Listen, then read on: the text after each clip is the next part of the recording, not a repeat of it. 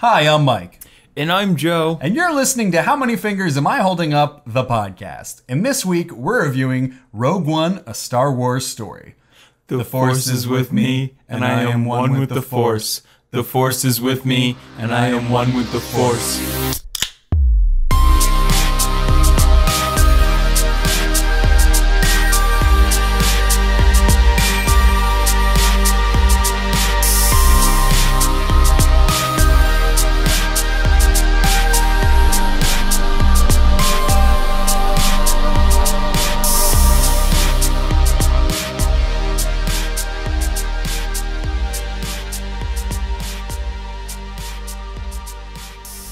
Welcome to How Many Fingers Am I Holding Up? Featuring two guys getting mashed potatoed and reviewing movies in a weekly podcast form. And a special shout out goes to Sean Henry on Facebook. Thanks, Uh, Sean. You gave us that synonym right on Facebook. I already said Facebook. Let's say Facebook. On, Facebook. where was it, Joe? you know, I think it was Facebook. I think it was Facebook? Facebook. Yeah. I. Sean, uh, say that to my face and not online and see what happens. Say that to my Facebook. I feel like I've heard that before. it's because we already recorded all this and then the computer shut down and we got to do it again. But that joke was too good to pass up.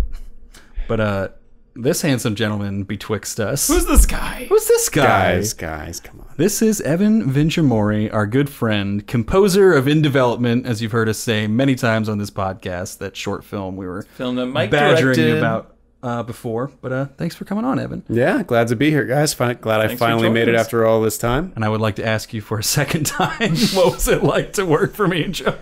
Well, I believe that my commentary was as creative people and uh, people that I had to work with artistically. It was a pleasure. You guys are always the greatest, but just as people in general, you guys are at the bottom of the barrel. And I really just can't stand both of you. But, you know, it was a good time. Thanks for coming on the podcast. Yeah, glad I finally made it. Thanks for recording twice with us. You got it. But uh, if you want to hear that uh, soundtrack from In Development, you can find that on Spotify under Evan's artist name, Moving Through Open Space. Uh, and you can also find him on Twitter at MTOS Music, I believe it You was. got it. Because That he said correct. that before and I heard it. Once more with feeling. Uh, and Evan is also the uh, pianist and keyboardist for our band, My Eyes Fall Victim, which you can find on Twitter at MEFV. Don't leave me hanging. Bam. If you guys can't see what's happening here, uh, Evan uh, wanted just a recap a of the play-by-play, uh, from Mike King. It was quite Momentarily. Mike left him hanging, but then he followed up. From that moment on, hmm, things were never quite the same. And uh, today we are drinking. I uh, went out this morning and I got us a little thing I'd like to call Rogue Dead Guy Ale. Th- There's no ale. Yeah, there's no ale. There's no. I know that's what it's called. but- Right, yeah, it's Rogue Dead Guy Ale, but yeah. But Rogue, of course, this was Mike's idea because it is Rogue One. I, I was thinking Oh. I was thinking we'd make a gin drink because the protagonist's Oh, name is Gin name Erso. is Gin. You know, I have to say, for my longevity's sake, I'm really glad you didn't. So, yes, if we were doing gin tonight, good choice. I think this would be a very different podcast. Wouldn't I gin be agree. healthier for us? Ah, drink. Yeah, Cheers, guys. yeah. Uh, I also want yes. to call out that the slogan is dedicated to the rogue in each of us, which I think is very fitting with the film. It is. Uh, I think I was also like, Cheers. Oh, Mike's already got his cap off. Wow. Someone's eager. That's because this is the one I was drinking when we were recording Oh, before. okay, yeah. There. We, oh, okay. Well, somebody got up. There we go. Oh, there we go. was- Really That's good. one for the books. hopefully, the mics picked that up. um, Hopefully my computer doesn't stop recording again. Hmm. Hey, you guys see this? if you're watching on video, it's a weird thing to ask on an audio podcast, but check the fucking this out. We got a if you're watching or if you're listening on audio, describe it audio. we've got a, a gi- Describe it audio. we've got a gingerbread house version of our logo made by the wonderful, beautiful Rowan Court. Uh, yeah, it's just incredibly, incredibly detailed. There's like a little gingerbread cookie for each letter of our, our logo. It's fucking incredible. If you guys aren't watching the video, go ahead and get on here. Uh, I don't want to mention that it's also probably going to be on Twitter and Instagram and maybe even Facebook. Roan also made a cake for us uh, a little while ago. she did, yes. I don't remember what episode that was, but uh, Batman versus Superman. because we did Jaeger bombs while eating God. cake. yeah, that was okay. Yeah, I can understand why you remember that. Sounds like I'm on the wrong episode. yeah. um, But no, it seriously, it is beautiful. I am nervous being around it. Yeah, it's it's been definitely it's been shaking break. the entire night, so it might fall while we're recording. it's I like don't want it of to fall because it's so beautiful. Mm-hmm. But it would be kind of cool if it did fall. R.I.P. But no one push it. Um, Joe. push it. Okay. Push it real good. So and also read the IMD description. So the IMD. IMD, the I, the IMD B description is the rebellion makes a risky move to steal the plans for the Death Star, setting up the epic saga to follow. Wait, what? What epic saga? What are they talking about? What are they even? What is this? Is this movie I- supposed I to set up it. another movie? I don't get it. Y'all want some mic notes? I'd love some mic notes. Give them to me. I feel like you guys are gonna have heard all these before. uh, Rogue One is planned to be the first in what is known as the Star Wars anthology series, with other films in the series expected to focus on Han Solo and Boba Fett. The films are planned to be released in between the main story arc films. So basically, like a, a placeholder to, to whet your appetite for the new Star Wars coming out. Much interested in the latter two. Much more interested or not much interested? More interested Really? in the Han Solo and Boba Fett sort I'm of not- like. I like Boba Fett, but I don't know if I needed. Yeah, that's very true. But I mean, did did He's we? cool because he's mysterious. I feel like if we give a Boba Fett story arc where there's he's the main character and we give him emotions, I'm not gonna like him as much. Yeah, but do we need like an entire movie based around like the engineering fault of the Death Star? No, but yeah, I mean, I mean, but still, I mean, Uh, it's, we'll get it's- into yeah, it. yeah. Discussion Yeah, to we'll come. get into it. Discussion to come, boys. stay tuned. Uh, Rogue One is the eighth live-action Star Wars film, or the eleventh if you count the holiday special and the two made-for-TV Ewok movies, Caravan of Courage and The Battle for Endor. Caravan for Kurt. Caravan of Courage. Sounds like toys for tots. Uh, the Battle for Endor has Wilford Brimley in it, so I definitely want to check that out. I've never seen those. I have heard of the holiday special though. Mm-hmm. I've heard how bad it is mostly. Uh, Rogue One, Promising. Rogue One was directed by Gareth Edwards, uh, who previously directed the 2014 reboot of Godzilla uh, and Monsters, which was a film he made for one of those 48 hour film contests. Uh, and all the studios liked it. Well, not all, but the one studio at least liked it so much that they picked it up and actually gave it a theatrical release, which is fucking impressive for making a movie in 48 hours. Um, because it took us like two weeks to make a three minute short film. Yeah. Is that all? and he's got a visual effects background. Uh, he worked in the visual effects department for various other films previous to this. Um, and he had this quote that I want to read again. Uh, you can't make Star Wars without touching on the Force. I grew up believing in the Force as a kid, and I'm still wondering if it might be true. You shouldn't get to watch A New Hope every day and then grow up to make a Star Wars movie. I'm starting to think it might actually be real. Oh. oh. Ooh. Whoa. Sorry. spoilers, spoilers. Is I'm that sorry. from something? I don't think so. Might be the when you pull the chair out on a wooden oh, surface. Oh, okay. Now I think it sounds like understand the that. Reference. Yes. We used to do Wookiee Wednesdays. Spoiler alert: Evan and I went to high school together, and we did Wookie Wednesdays, which So was, weird spoiler. Clearly the coolest kids in school, obviously. which was just people making Wookie noises in the hallway at high school. Teachers did not love it. They didn't love it. We didn't get laid, hmm. Not often. not often. You know, I have a friend named Matt White, and he does such a great Baka impression. They just call him Baka. I'm used to the chewy side of it, not the baka side, but yes. Uh-huh. Also out, applicable. shout out to Baka for changing our Wi-Fi password. Mm-hmm. he came to our house once and just That's just all he was everybody just like, knows "Oh, about him now. We gave him our Wi-Fi password, and then he was just like, "Oh, this is not secure enough, so I made you guys a new password." And we're like, "Oh, cool! Now we have to remember a new password for our Typical own Now we Wi-Fi." have to change everything. Baco, what you gonna do with him? Not invite him to your house again. He'll change your Wi-Fi password. Sometimes for the better. Uh, Rogue. it was more it was, secure. it was never broken into. I can say that. Uh, Rogue One was written by Chris Weitz and Tony. Gil- I feel like that should probably be Chris Weitz, but uh, Chris Weitz and Tony Gilroy. Uh, Chris was a producer, is a producer, writer, and director. Uh, he's previously written the 2015 live-action Cinderella, The Golden Compass, About a Boy, Nutty Professor 2, The Klumps, and Ants, A N T Z, which is a very eclectic filmography. Sounds like a one-dimensional kind of guy. Yeah. Yeah. Um, yeah, no. The first time you read that, I thought you just said the Nutty Professor 2, the Klumps and the Ants. And I was like, I don't remember the Nutty Professor 2 being about the clumps and the ants. Where did the ants come in? Oh gosh. Klumps v Ants. Uh, and he also has directed A Better Life, The Twilight Saga, New Moon, The Golden Compass, Down to Earth, and About a Boy.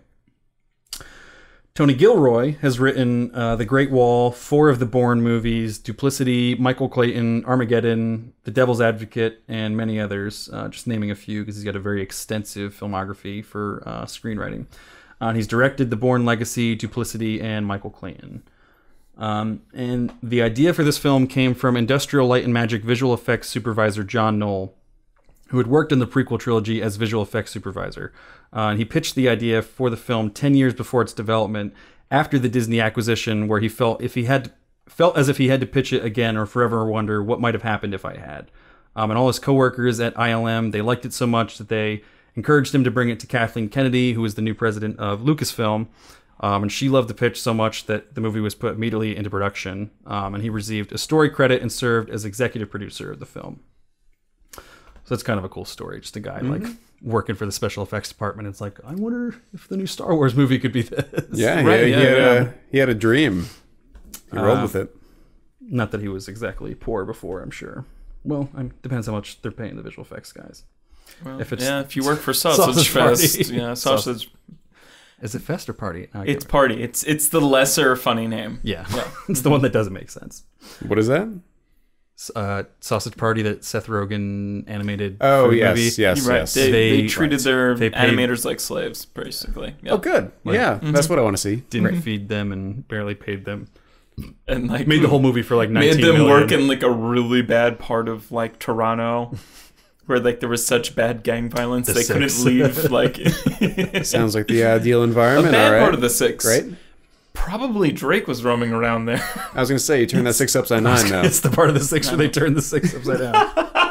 it's a nine now. Uh, what you doing? I'm just working late on sausage party. yeah, we about to turn a six upside down right now. It's about to be a nine now. Please don't oh, do it. please don't! Damn you, Seth Rogen! He was complicit in that. um, uh, Rogue One stars Felicity Jones, Diego Luna, Alan Tudyk, Donnie Yen, Wen Jiang, Ben Mendelsohn, Forest Whitaker, Riz Ahmed, Mads Mikkelsen, Jimmy Smits, and uh, numerous cameos and bit parts. Uh, emphasis on numerous. There's so many cameos. Um, and Rogue One is the first theatrical live action Star Wars film to not be scored by John Williams. It was scored by Michael Giacchino, a frequent J.J. Abrams collaborator, uh, with credit to Williams when the original themes are used. Um, and Force Awakens is the only J.J. project that Michael Giacchino hasn't scored. So we were thinking maybe this is a favor for not being able Or to I score said that maybe one. it's a trust thing, kind of like with Johnny Depp and Tim Burton. Although JJ is not an actual producer on this, but I'm, I know he's got obviously sway with Lucasfilm as Right, the one right, right. in charge of the whole trilogy. Um, and this is the first Star Wars live action film to not open with the traditional crawl. And again, we will start the review there. Wait, All right. first check if it's, It's still recording. still recording. Okay, We're okay. good. That was the All first thing I was right. going to do. Something We're good. that- We made it this far. Something that I wanted to touch on, uh, just a little addition to Mike notes, and I feel like I'll I'll circle back around to this, but I think something I haven't seen a lot about it yet, but I feel like it's something that's going to be uh, discussed at length is the reshoots of this film because there was a lot of them. Uh, I mean, leading up to the movie, I mean, we're all reading articles a lot that, uh, or I mean, at least I am. I'm seeing like extensive reshoots. I'm seeing like Disney was unhappy with the first cut of this film, and uh, like a follow up article that said, uh, as much as forty percent of this film um, was going to be completely redone. Um, I Or think did I l- skip over my reshoots note? I don't know. Did you say something? I kind of feel like I did skip over that. Anyway, go on. Yeah. Uh, yeah, no, but I mean, I, I think later they said that um, like the urgent nature of the reshoots was, uh, you know, it was like debunked shortly uh, thereafter, but it was like a story that felt more like Lucasfilm sort of doing damage control rather than like kind of giving the whole picture of what was going on. Yeah. So there had to be something in the middle of between like 40% completely redoing the film and like just like, oh no, we had this scheduled in advance kind of thing.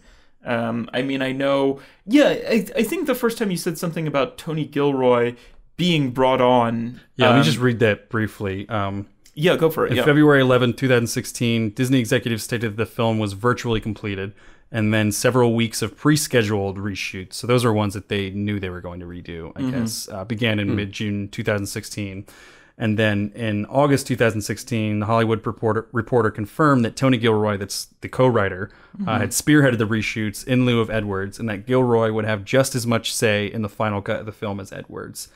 Uh, Gilroy was initially brought on in order to retool the ending of the film, which was not coming together as hoped under Edwards' direction. right. Um, and Gilroy had also been brought on during the development of Edwards' 2014 Godzilla reboot. Uh, Gilroy was commissioned to do extensive rewrites on the script for that as well.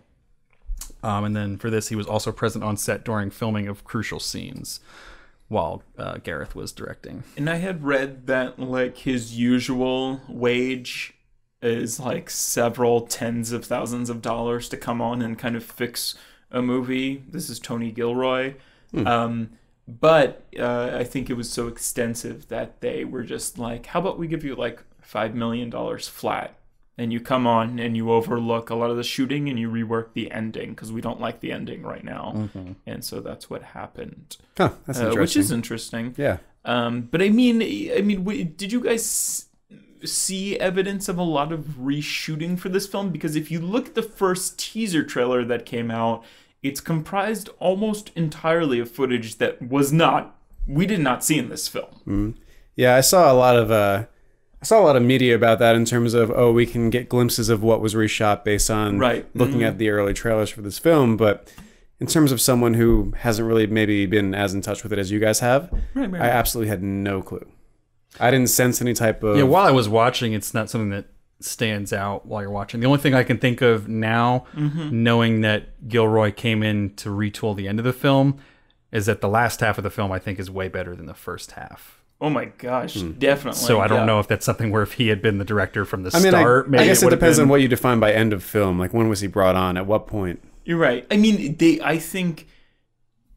I mean, I think all. I, I think almost all parts of the film. I mean, that's just how film is done sometimes, and how reshoots are done. They can go back and shoot like you know, like that first scene of the film.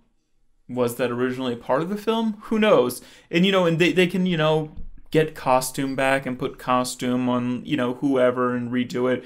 But like for an example, I mean the um I mean, the campaign relied heavily at first on like this is a rebellion isn't it? I rebel like kind of like line. And we don't see that at all. And i mean like that scene in particular when she first goes in front of the sort of rebel base like you could make like an entire like video essay kind of comparing like the early trailers and like the final cut of the film um, in the trailers they really kind of harp on like Jin's troublemaker backstory and her responses are a little more like antagonist and snarky but I feel like like the reshoots that they possibly did again this is all speculation through me It could have also Um, just been cutting down the beginning scenes to make more room for the end. Eh, Right, right. I mean, uh, or they could have just done like multiple sort of takes or something. I mean, there's like a whole like strip of just lines that were in the trailer, like sort of like, you know, state your name for the record and sort of like they had a more extended sort of like list of um, convictions that she had. Did they even read those in this? they, No, they, not they, really. they did, but they had like a shorter sort of list. Uh-huh. Like in, in the trailer, they're like, you did this.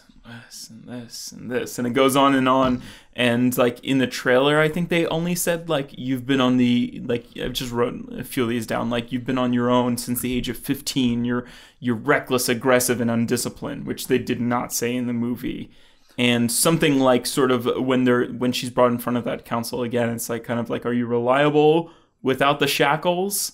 Kind of and like again she's just sort of snarky about like this. I definitely remember getting hmm, that feeling, or at least watching this movie and feeling like she wasn't as antagonistic as she was. Oh, in definitely. The trailers. and I think through the Or as I was reshoots, expecting her to be. they definitely sort of like reworked her character to be less arrogant and maybe more like empathetic because like of her father or something. And again, I think it's- speculation yeah. because it it's also just very possible that they they had were pressed for time, especially if they reshot the ending. Maybe they mm-hmm. wanted they thought, all right, well, this is a really strong ending. We want to keep as much of Oh, this as possible. Right. Thought they could lose some of that stuff. Although I do think it, it ends up hurting it because I feel like her character's a little underdeveloped. Oh yeah, the yeah, yeah. backstory is a little. I would have loved some fucking like Aladdin, flimsy. like he's like a s- street, like they call him like a street rat kind Riff of. raff, yeah, yeah, yeah. rat. And to, like he's a real sort of like thief. Like he's not a thief, but he's stealing to Well, survive. Kind I guess- of, you know, like. yeah. And I, I would have liked something. We literally like just get her, character. already right. Yeah, captured. Yeah, we should have seen her doing she's an something. orphan, kind of just, kind of just set out there to survive on her own. Yeah. Kind of, you know, And they- and, they- and they I like that premise on the trailer. They somewhat touch upon it, right? I mean, they Oh, talk definitely. about Yeah, some of her convictions throughout the mm-hmm. course of the movie. It just doesn't happen in that council like it does in the trailer, from what it sounds like. But Right, I, but we were uh, I saying, like, think maybe they before- lean harder on like your dad works for the empire, like, Yeah, and that's it's what they kind of try to turn it. we get we get the flashback to her as a child Mm-hmm. and like that creates a little bit of sympathy for her but we still don't Right. really know her as a character and then immediately she's in the uh,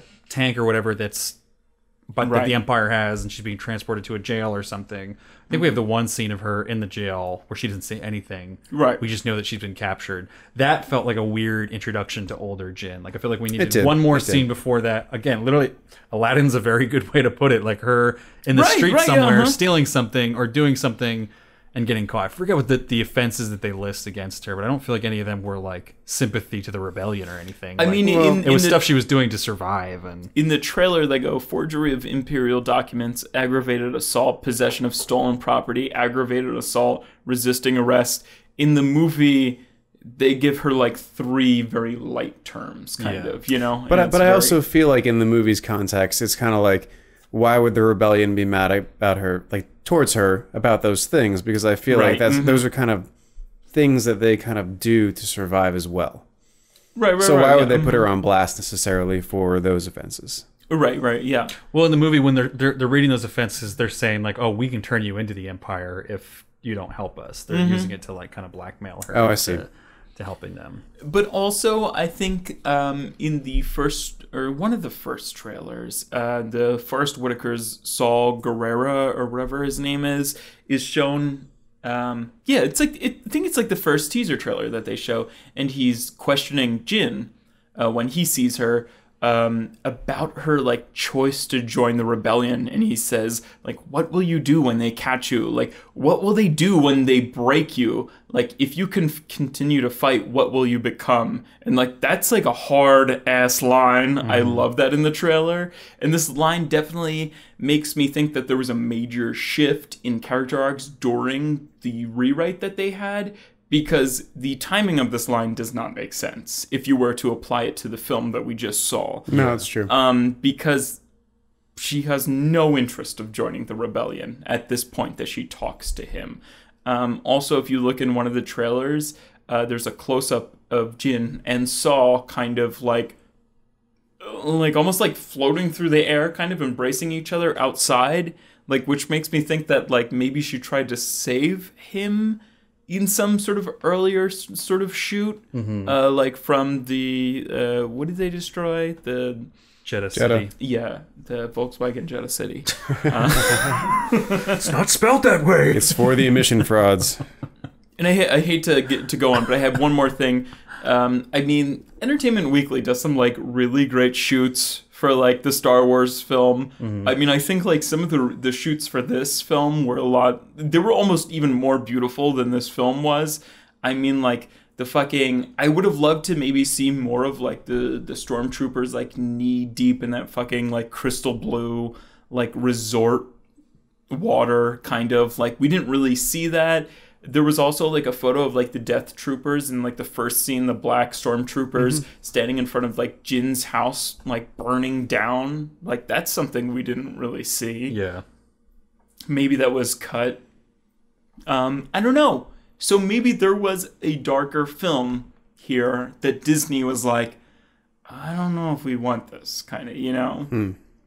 Yeah, and I remember uh, watching the trailer and thinking that it felt like it was going to be a darker film, and it is still comparatively speaking to other Star Wars movies. see i didn't think this was i thought the force awakens was darker than this almost Uh, I mean, we'll get into. It. I think there, there, were there there- themes that were darker. I think the outcome was darker, but I think thematically, uh, the Force Awakens was like, that's heavy shit. You're killing your dad, like kind of, or yeah, like you're the Force like, Awakens yeah. had singular acts that were Mm-hmm. heavier.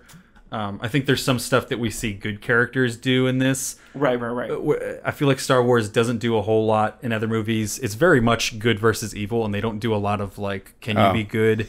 And also, That's what I loved about this movie. Yeah, Yeah. That's that's, but that's also what I wish this movie had a little more of. I thought I it did a great she job in terms of the spectrum of Oh, showing definitely. that people had huge diversity in terms of area. that middle area. Because there was nobody that was completely purely evil. There was people who genuinely thought that they were doing something for the greater good, kind of, and mm-hmm. and it's something that it fits really well with this story. Which it's not that the other movies did a bad job of it, but like this mm-hmm. really makes you feel that this is truly like a rebellion. Like these are literally people who are doing like anything they can to scrabble together resources to fight against this, you know, empire and they've been doing it so long they're willing to do anything to literally make this shit come to an end. I thought it was also very cool how they portrayed the rebellion in like different capacities. So I mean, there were different uh, versions of extremism, right?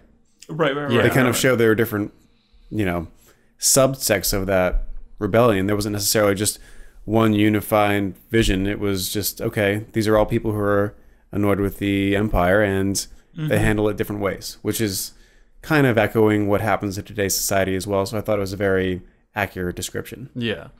And supposedly uh uh Saw Gerrera is actually from the animated series The Clone Wars. Right, And yeah. he's the first character that was created for the animated series that they've brought into live action, which I thought was pretty cool. I've heard that series is good despite being made for kids. I've heard it's actually like really cool. Fair Wait, enough. Is it the the the 3D animated one, or is yeah, it the, the, Clone Wars, the animated the- ones. Samurai Jack creator Clone Wars? Uh, I think it's the 3D animated one. Oh, okay, I didn't yeah. know there was two. Are there? There uh, there was one um, that was Are you talking about the one that's like the Rebel something? yes. Is that the 3D one? No, I think the 3D one was the Clone Wars. Because it has Anakin in it. And it was released like after those ones came out. I think I'm just talking about a completely different one. There is something that is like the there was one that something. the, the like the animators from, like, 2014. Samurai Jack on Cartoon Network they made, and it was like a very. I think that was maybe for like. Like this is what happened between Clone Wars, or maybe what the length of Clone Wars. I don't know. I know what you're talking about. Yeah, It's- it there's sounds right. so many. I mean, you have the fucking novels. Mm-hmm. You have the. oh, maybe. All right. There's so I, I think. Rebels is 3D as well. It's Star Wars Rebels. But Clone Wars was also 3D. I'm pretty sure. I'm pretty sure. I think it was 2D, but I'll take your word for it. Now I'm going to look it up. There was something called. It, it's literally. It looks like Samurai Jack animation. But Samurai Jack was good. it was it was a great series. Um, Yeah, Clone Wars is 3D. Not like 3D glasses, but like 3D characters. 3D animation. Yeah. Right, right, right. Well, there was a two dimensional. It's not Rebels. Rebels is. Right. This was just called Clone Wars something. Uh, the 2D one. It was. It's whatever. But anyway, The Star Wars universe is very large. no, exactly. It's incredibly vast, and um, almost all of the novels and fiction written about it are terrible. Um, have you ever Back, tried you to read Galaxy of Fear? Have you ever tried to read any of them? They're fucking terrible books. Not the adult ones. I used to read They're all so the little- bad. Did you ever used to read the? There was like it was the Goosebumps version for Star. It was Star No, Wars. Goosebumps, I don't even know about basically. this. Oh, Star Wars gosh. Galaxy of Fear. It was so cool. Really? they all had like holographic like covers on the front, and it was just like two little kids being taken around. I think they were orphans or something. Sounds really cool, Mike. Yeah, I mean, mm, when you were 10. totally sick. Star Wars Goosebumps. That doesn't interest you guys at all. Fuck you guys. but I feel like we've put it off enough. This film does not start with your standard crawling text, It does not. and it doesn't have the um, the Star Wars really the the signature music either. It has, it has they- some they- of it. In the beginning, in the beginning, They did Oh, work yeah. in a lot right of right the after the crawling text, it doesn't. But by the end, it's kind of like yeah, okay, like like it's it completely gives in to it. Yeah, well, they, they want to keep bringing back some of the main themes because I mean, because well, all right, we'll talk about that later. But there are themes associated with characters in this movie Right. that obviously had to come back from the original ones. Mm-hmm. Um, but yeah, usually there's the the opening crawl and the whole. But maybe that's just going to be a thing they reserve for the, uh, you know, a Star Wars story. Yeah, and that's a of thing that they, they they said that was a conscious decision. Is Oh, that this definitely, is not right, yeah. supposed to be a Star Wars This isn't Arc, it's your Star Wars typical story. Star Wars movie. But for Take not that being a typical Star Wars turn movie, upside down. they go way out of their way to remind us that Star Wars exists. Oh my gosh! that is Every- true. There's so many Easter eggs in this fucking. Little, I, like I was looking through like the trivia for this movie just to find if there was anything I wanted to like make it's note out of of. hand. Yeah. There's no way anyone would catch that like on like Mm-hmm. the first, second, or third watching by themselves. Like Mm. it's all stuff that's like in the background. Or like someone says a character's name over like the intercom while they're on like the spaceship or something. Like Yeah. so many Easter eggs. The only one that I really caught was like, oh, like there's like a blue milk beverage that somebody was drinking, and like Luke drinks like some sort of blue milk. Like that's like a famous scene where Really? Luke is drinking like blue milk There's in like so- the first. Yeah. Oh yeah, when they're in the the mm-hmm. home, Yeah. there's the there. I mean, there was ones that like didn't even like fully make sense to me. Like they just seemed like way too much of a stretch. Like when they're walking in Jedha City. And she bumps into the one guy, and he's just like, "Hey, watch where you're going." I that's the guy. him. That's the guy who's like, "I got the death sentence on twelve systems." Mm-hmm. That's what I thought. But he's on Tatooine in that movie, so it's like it's not like it's on the same planet. Jedha City, despite being under Imperial control, is like a Jedi like holy city essentially. It's like Jerusalem for like mm-hmm. the Jedi. So it doesn't really make a whole lot of sense for this like like scavenger like criminal crook guy murderer who's got the death sentence on 12 systems to be in the Jedi holy city even being under imperial control. It's not like the Imperials are like, "Oh, all Well, the scum of the universe come here." At that They're, point, it was a you know, trade center. correct? bureaucratically evil. Hmm? In this movie, it was a trade center, correct? That's essentially what it's become, Jedha, at this point in Yeah. time. I think they did say that at one point. Yeah, it's Right, not. because there was cargo ships and whatever, and but it they're was they're stripping the, the, the holy temple or whatever of uh, all the kyber crystals, whatever they called them. But we do we have this opening scene where again, which I think may have been a reshoot um, to sort of cast some sort of sympathy upon Jyn of um, these death troopers uh, coming upon to get her dad. Maybe it wasn't a reshoot. It seems like a really like crucial part. But again, I don't know how much they changed this movie uh, during the reshoots or during Well, the yeah, and again, like you were rewrites. saying, there was a, a shot of her in the original trailer of the the house being like on fire and stuff. There was on- like the Entertainment planet. Weekly um, Yeah. photo shoot. Yeah. Um, I love the location scouting for this Same. movie. I- even I- if that is a reshoot, I really that, wherever like- they picked for Yeah. that place. I was going to say, I, I, really I like enjoyed that it. scene a lot better in the trailer. I was like, very cool. Um, but there was like a few goofy parts during like I didn't feel like a lot of tension during that part. I also like when one of the death troopers picked up like a stormtrooper doll. Oh, I thought that was, It was really like- hysterical. I was yeah. like, like that's like a child, like that's like a Jewish child, like having like a Nazi doll, kind of But, uh, like it was kind of like I did bizarre. talk. I, I talked about this after seeing that um, they're trying to appear loyal to the Empire. So they, it's not like she could have like you know uh, like rebel doll. They wouldn't make them to begin with, but I mean, like we have like. What, I mean, what is your reason for not liking it?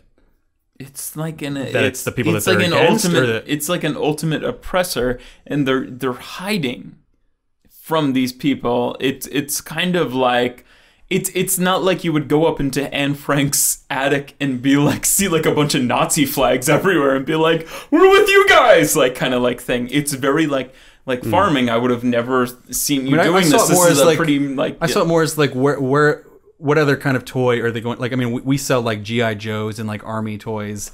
The Imperials or the I feel like didn't Anakin or Luke have some sort of toy that wasn't fucking a stormtrooper like Well, doll the- or like I mean, or still I mean just just something it gave me a weird taste in my mouth. Hmm. It felt it felt very like kind of like we let our child play with like Nazi propaganda kind of like you know like it's like very you know But I mean, I think they yeah. definitely taught her. I mean, because they, they said like, oh, you Oh, know where to definitely, go. but it's- it's weird she weird knew that they she- were the bad guys. that felt more like an Easter egg than it felt like a character sort of detail.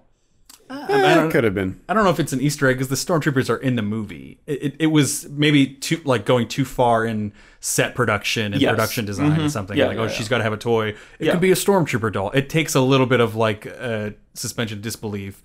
I have to go very far to justify that Yes. being there, but yeah, a, a very yeah, small yeah, that's detail. I, th- I think honestly, at this point, what I've noticed so far is that you guys have a lot of conversation pieces surrounding the fact that you were very in tune with like the teaser trailers and the initial trailers, and perhaps maybe I was like oblivious to them. So some of the discrepancies you picked up between them has kind of like rubbed you the wrong way. Right, right, right. Yeah, yeah. But honestly, I mean, as someone who really didn't pay attention to the trailer so much, or even Uh-huh. the teaser, yeah. I didn't pick up on any of this. So I feel like a lot of it And to me is and that's very. fine. Yeah, yeah. I It mean, seems. So I just want to. I guess the point I want to try to make is that as a viewer of the movie who Uh-huh. really hasn't like micro analyzed every single moment up until it, Mm-hmm. it doesn't seem out of place. It, it, seems very much streamlined, Right. and it's not like I was like, oh, clearly that ending was The stormtrooper or in particular, or just you mean the whole thing? I mean, even like the beginning with like, you know, you guys were talking about how, oh, you know, you expected maybe the hut to be set on fire and stuff like that. Right, right, right. To me, as an end user, in terms of not having been as in tune with that, Mm-hmm. it didn't seem, you know, Well, see, I mean, down. you're enjoying the movie I the way think- it's yeah, intended to be enjoyed. definitely. We have the Right, curse yeah, right. of uh, reading all the articles and Right. watching all this stuff. Where like we're we're, we're looking like where are the reshoots taking place, or Yep. you know where are they going to screw up? Like we're we're looking for the them to fuck up. So I guess I'm just trying even- to yeah. voice that. Oh, definitely. Yeah, yeah. Or, or I think I, th- I think we're even like looking into you know now we have Disney that owns the Lucasfilm um, Yep. f- franchise or, or however you say it. Um, you know, and I think they have uh, you know they'll shoot it and then they have various study groups or how do you say it? Um, Focus groups. Yeah, focus groups. Study groups. They're studying the College, film. study Um, group. Yeah.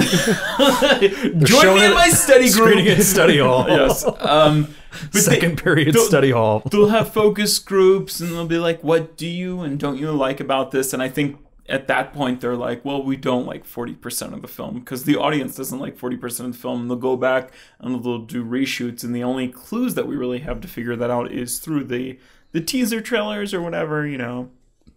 And that just sounds like a, Hmm. a large number, forty percent. Like we know reshoots are a natural part of filmmaking just to begin with, because But I mean, if you see this maybe was out film, Mm-hmm. of shot and you didn't realize it in you know Video Village or whatever, and uh, you have to go back and do it, or something was just out of focus or whatever.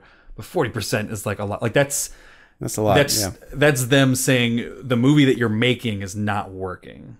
If forty percent, But we've already put this much money into it, and I think if we change less than half of these scenes, we can make this a we can salvage it. Yeah. right. Um, which is, I mean, when we meet certain characters like the two um, Asian characters, I think we get a lot of like weird shots in that scene. Like we have a lot of two shots where we just see both of those guys, and then it'll go like right back to the you know the Jyn and uh, what is his name, um, uh, Cassian. Cassian. Yeah, and it'll kind of like shoot between them. Like I almost thought that they added one of those characters, like the um, the Jen Jiang or the Baze Malbus or whatever character in like later almost. Or, or something like you know like there was some there was some sort of focus group where they were like well we can't just have that. We maybe we should have this too. Like like maybe like I love Donnie Yen's performance but I think also maybe it was a little like racist where it was like he was like a mystic blind person who was like Asian and was like See, like kind of like grabbed, you know, like he was very. see, at, I thought weird. Yeah. at first I was really kind of afraid when I saw that character being introduced. I Honestly, it was I was kind of Mm-hmm. Like, oh yeah. great, here's a you know a blind character, Mm-hmm. which okay, fine, whatever. Um, and then, you know, they also had the comic relief moment pretty early on with him, which you know his head was covered a bit. Mm-hmm. He said, "Are you kidding? I'm blind." And I was like, I really hope this character's not here just for comedic relief. Right. Yeah. That yeah, was yeah. where I was a Uh-huh. little afraid, but I feel like honestly, as the movie progressed and things went on, I came to appreciate that character a lot, and it kind of almost to me as an outsider and you know not being fully in tune with the original Star Wars series, which is a huge um, just FYI everybody. I'm not as in Evan touch- thinks Avatar is better than the original Star Wars series. Just saying. Well, to be fair, I have not seen the original Star Wars series, so I've seen. Uh, my friends made me watch Episode Four of Star Wars. Um, my response was it, it was kind of like a bad episode of Power Rangers, but let's not let's not kill me right now. Let- Let's, He uh, did like the Force Awakens. Though, I which love is the why Force we asked Awakens, him on for and I went to go see Rogue, obviously. But I feel like, to me, as someone from an outsider, when I'm used to seeing every single Star Wars movie having Jedi's, right, Right, right, and, right. and Jedi's are the the fruition of the Force. I thought it was very cool to see more of like a, um, if I want to compare it to this, a Buddhist approach to the Force, mm-hmm. Which was cool. And as that character developed, I came to appreciate that more and more. And I thought that was an interesting take on the Force that I hadn't seen before. No, no, definitely. I mean, I, I let's. think I think if Donnie Yen's character had been by himself, I could see what you're saying, where it would come across as very racist. Like, oh, of course, like the Chinese but guy that's I think like where the focus fu. group came in, and that's why they do two shots, like that entire scene. I think Meaning they, added- reshot and they- added added the I Baze think- Malbus yes. character. Mhm, Yes. Yeah, I could see that. And he, he Hmm. and uh, whether it's a reshoot or not, it's a wise decision to add him in there. Oh, definitely. Same. Not only Yeah. Mm-hmm. because it makes you look re- less racist for having the Asian character be the one who knows kung fu, as cool as the kung fu is in this fucking movie. Because it, is. was Yeah, it's- really it's fucking cool yeah, yeah. to see Donnie Yen going to town, especially knowing that he does. He's like his own, you know, stuntman and shit for all that. Um, but just the relationship that those two characters have is one of the strongest in the Oh, movie. definitely. Oh, yeah. Yeah. I mean, Absolutely. everyone else is kind of strangers. They're the only two people besides like K2SO and Cassian that like uh, kind of know each other and have any kind of relationship. Right. And their bond is probably the strongest that we see evidence of in the movie because they're kind of it's the type of thing where they're they're jawing at each other the entire time. They're the Donnie Yen character is always talking about the Force, and Baze doesn't really believe in it and whatnot. And then we kind of have a fulfillment of that in the end. So whether it was a focus group or not, that's a really wise decision to put him in there, and I think that relationship ends up working really well in the film. But as long as we're talking about like sort of broader kind of I mean, because eventually we will get into spoilers, and I think we're we're just kind of generally going out of order mm-hmm. with this film. I mean, the way that I've always thought about Star Wars and Star Wars films since I was a kid is that I think Star Wars is like a recipe that has three parts.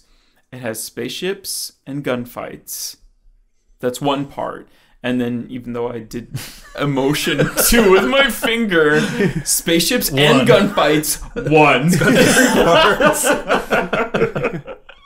there's spaceships and gunfights, there's narrow escapes, and there's the fucking mumbo jumbo, which I fucking love. It's the fucking space magic and space wizards that are fucking twirling swords and killing people. Yep. And it's the force, you know?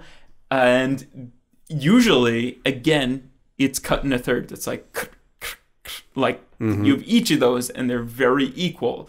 In this movie, we have like fucking 90% spaceships and gunfights and then like five percent the Force and five percent like um like narrow escapes or whatever. You know, like like that's I think there's like just because we just saw like I wanted to get this across and I feel like I haven't been able to verbalize it yet. Um but there's something about The Force Awakens that just came out and it's so fucking well written that like this film doesn't stand a chance almost to be like I think this film is better. Like, you know, like it just doesn't there's hmm. so many great narrow escape scenes and there's so many like beautiful emotional sort of like force like the force scenes kind of with Rey So, and everything. I'm, uh, I'm gonna Go kinda, ahead, cut in. That's that's the end of my yeah. Yeah, so I'm gonna I'm gonna jump in there, and I think that as someone who's been on the very edge of the Star Wars franchise and what you know their formula is, but based on what I've seen, is in most of the Star Wars films that I've seen, there's such a heavy influence of the Force and the Jedi. Right. So I was almost excited to see a film in the Star Wars universe that didn't rely so heavily on the Jedi. Mm-hmm. Because I mean, arguably, if you watch this film, Right, right, right. there's not so much Jedi going on. And in terms of narrow escapes, I feel like you're talking about, you know, like The oh, that, got, that that got down to the compactor. wire, and like there was just like the smallest chance where they got by. But I Mm-hmm. Feel like from that aspect, this film had so much of that because Mm-hmm. there are so many things that are contingent on each other in this film where you know there was the smallest chance, but every single thing has to line up in order for them to succeed Right. Mm-hmm. in the end. So I feel like you get that narrow escape. Right. Not necessarily in a trash compactor scene. Right, yeah. it's of just more so yeah. just peppered throughout the entire film. No, yeah, I agree with that. What were you So gonna did- say, Mike? Well, I mean, did you both? How do you compare it? Just which is better, this or the Force Awakens? Just on Oh, a The Force Awakens tenfold. tenfold. Um, I just think, well, I and, and that's just because this whole movie feels smaller scale. It feels smaller stakes, and honestly, this might offend some people who like this movie, but this movie feels off-brand Star Wars. This movie feels TV movie Star Wars. It's very kind of like it wants to be Star Wars, but have you seen The Force Awakens? Like it's it's wild. Like it's great.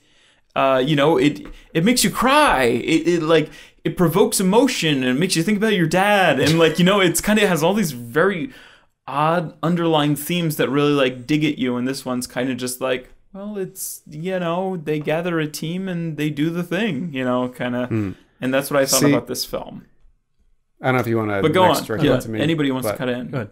Yeah. I was just gonna say, I feel like for me they're similar in terms of where they Mhm. rack up, Right. um, because I feel like I got such a more sense of individual bravery in this one. I, I kind of felt like these were people, right? They weren't Jedi's. They weren't necessarily people who are, you know, blessed with these amazing powers. They were more just people who believed in something. And um, for me, it was surprising because even though I'm not a, like fully aware of the Star Wars universe, it amazed me that an entire series that hinged on such an important mission or one event, it amazed me that there was not a movie for this already.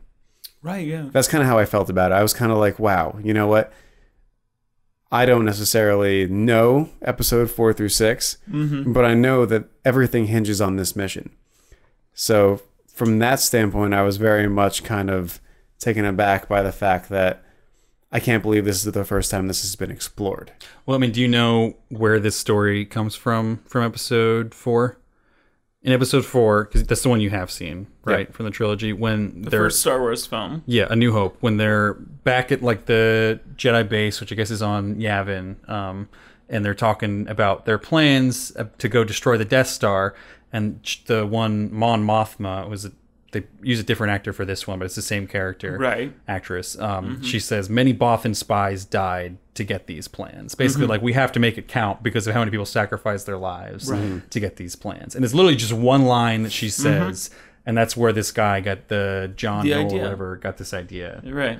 which yeah, I mean, I think it's a fucking great idea for a movie. Like as soon as I knew that this was what Rogue One was going to be about, I was like, hell yes, the Bothan spies. Yeah, because that's that's a huge right, gap yeah. otherwise, right? I mean, how do you ever explain the fact they got the plans for the Death Star? That's a big, big premise of everything. I mean, you, you because of the way that the first New Hope is constructed, where Luke doesn't. That's like kind of like the first time he's like meeting with the rebellion is there. So you're kind of just assuming they've been doing whatever they've been doing Right. before that. Outside of that, they must have got the plan somehow. He's We- coming we, had into no the really middle idea of how the ep- rebellion, right? yeah. Yeah, and I, and I get that, but I kind of feel like the question that's been racking my brain since I've seen the movie, and it's kind of funny that this has been something pervasive in my mind, but like, what if Rogue One had failed? Well, Right? yeah, the I mean, rebellion it- would have right, broken yeah, up, and yeah, the. Empire, Uh-huh. the I mean- I Empire mean- would rule the galaxy. Maybe maybe it wouldn't have. I mean, that's the conclusion you want to come to. You want to say, yeah, the the Empire would rule because Rogue One failed, but maybe it just would have been a question of okay, maybe there's a different tactic from mm-hmm. the rebellion. Maybe they would have eventually overcame, but how far would evil have been allowed to advance before then? So I mean, from that standpoint, I look at this movie and I say, yeah, this is an important story to tell. This is like a turning point like any other war that happens in our world, I feel like this was such a big hinge moment. And that's why I think it mattered so much to me. Yeah, and I think it's why the movie ends up working so much is that they're able. Because if uh, any other movie where you're just like, oh, you know, other minor characters in the Star Wars universe, give them a plot, it's Right. not going to work as well. Because I mean, this has the entire weight of the Star Wars universe, even though it's not directly related to them. It's got the weight of that, and it's on its shoulders the entire time. Like, yeah, Right. if Rogue One doesn't go the right way, then the Death Star does not get destroyed. The Empire rules the galaxy because they can just threaten to blow up any planet they want at any mm-hmm. time. And we don't get the entire Star Wars trilogy. Yeah. I mean, it's it's like we knew everybody was going to die at the end of this film. Yeah. I mean, that's Because the of point. the that's the point of from. like the the whole rogue like dead guy kind of thing. I mean, we didn't say that before, but like we know everybody, every main character here is going to die. And again, there were some like early reviews that were like, "This film is so dark." And again, I think The Force Awakens was maybe even a little more dark, and I, I already explained that or whatever. But it has to be it has to be a little grim because how else do you get the film called A New Hope? There has to be no hope Yeah. for them for there to be a new hope. You know, it has to start. The- Um, it's some No, I agree with that. P.S. I feel like we haven't talked about how it's Christmas. Yeah. Oh, that's right. This is the Christmas Yeah, episode. yeah. I If you mean, couldn't tell yeah, from the gingerbread house. if you're watching video wise, we have a fucking gingerbread house, two Christmas trees. Yeah, it's and all I'm in the middle of all of it. So, uh, Yeah. Merry Merry Christmas, Christmas. people, from Moving Through Open Space. Christmas. Um, Does anyone want another Budweiser? Yeah, thank you. I will go grab that. And I'm gonna carefully back out of this table so we don't 9/11. Oh, gosh. too soon. Always too soon. uh, a small thing that I wanted to talk about, just in terms of defending Rogue One as being a darker movie in some ways. Thank you. Um, I mean, obviously we just said it, but everyone dies at the end of Rogue One, or at least all the main characters that we're supposed to care about. I don't think that's a spoiler. That's not which I was about to say. That's not a spoiler. if if you were paying attention to what Rogue One is supposed to be about, you know it comes from the line many Bothan spies died to get these plans. Right. Um, Yeah, I, I think I don't know what you're going to say about it, but I think it just gave the movie so much more gravity. what if? The fact that everyone was destined to die. Oh, did you did you know that they were destined to die? Did you know where it was coming from going into it, or Yeah, I mean, I, honestly, I think living in this country or in this world, rather, Right. um, where everyone loves Star Wars, even if you don't love Star Wars, you love you kind of you Mm-hmm. kind of come to know the universe, Yeah. and you kind of come to know a lot of the common themes that Star Wars fans, you know, tend to repeat, or the jokes that you guys love, whether it's like General or Admiral Ackbar, it's a trap. Like you, you come to know all that. And I mean, I'm not gonna bring it up right now, but during a lot of the fight scenes this time, I felt there was a lot of Admiral Ackbar moments, Oh, definitely. and they did that on purpose. they purpose. say it's a 100%. trap at some point. Yeah. But um, Did they really? I, I, that But yeah. completely went over my head if they oh, did. it was Because it's Yeah. not Ackbar, it's General Radish or whatever. Mhm. yeah. one- But come on, we know what they're. Somebody- they, we yeah, know what the they're same poking at. species, but Somebody says like it's a trap. But but for me, it was uh, it was great from that standpoint. Mhm. I think it was very much reminiscent to everything you guys talked about, and I knew what Rogue One was going into it. Just even from being alive in today's day and age, without necessarily having ever really paid attention or seeing the series, I, I came to learn that Rogue One was the mission that got them the plans for the Death Star. So, Star- so I knew it. Yeah, going Yeah, into yeah, it. yeah. Star Wars culture is so goofy.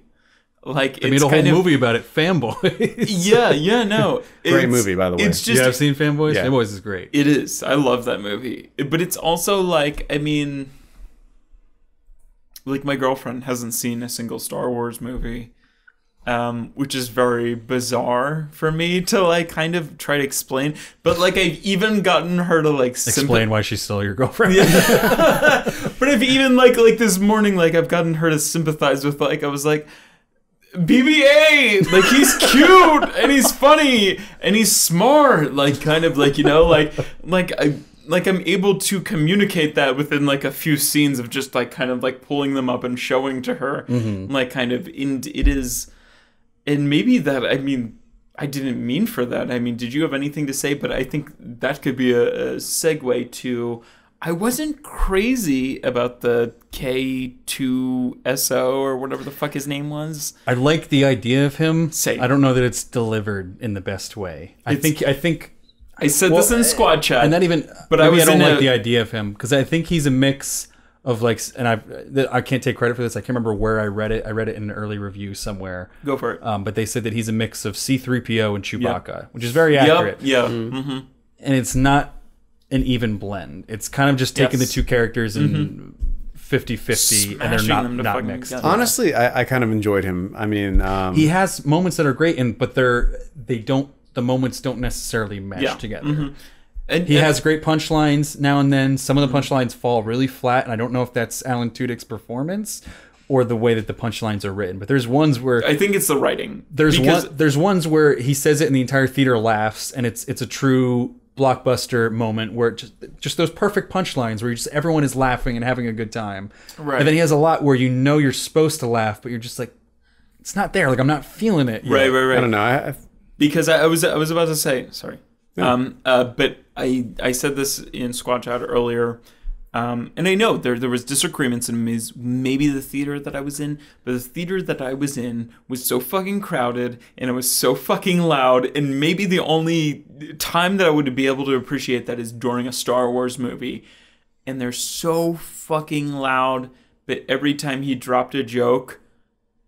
Like right after, you could hear a fucking pin drop. Yeah, there was a lot of It lines was- it in was my, a in my of theater where they laughed at some flat, of them, yeah. but then other lines they would just be mm-hmm. dead quiet, and it was like It was watching like a bad 85%. stand-up yeah, comedian yeah. like, Exa- perform. That is exactly what I was going to compare him to. Is that it was a bad stand-up comedian because you can tell that they went back into, and I don't know if this has anything to do with like you kind of like you know like Batman versus Superman wasn't funny, even though the reason that movie was so bad was not about how funny or not funny it was. Um, and it's kind of like why like Suicide Squad, like we're gonna try to make it more funny. I don't know if Disney was affected by that at all, and they were like, we need to make Rogue One more funny. And there was definitely somebody. There's a lot of very obvious ADR in this film.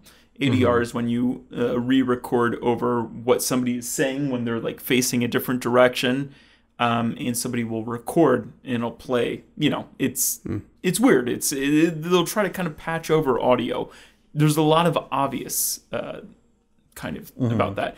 But anyway, with this droid, you can just go back into 3D animation and you can make him say like, "Blah, blah, blah," like you Well, know, like was, in a was, he was fully motion captured by Yes. Alan Tudyk, supposedly. really, Yeah, Okay, but I mean, even his mouth. I don't know if he has a mouth. Uh, right, they yeah. could have, I mean, got a I, I, series of I think lights. they but they would go have had into to pay to very rent the studio again and him come back, and it's not just all done on the computer.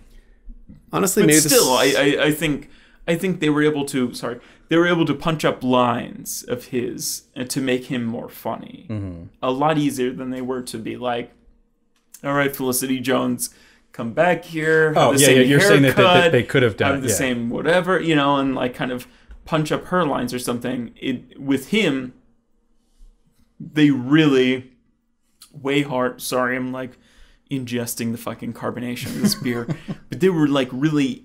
They placed the weight very hard on him, like kind of like you better be fucking funny, you know, K2SO. Like it was is, very.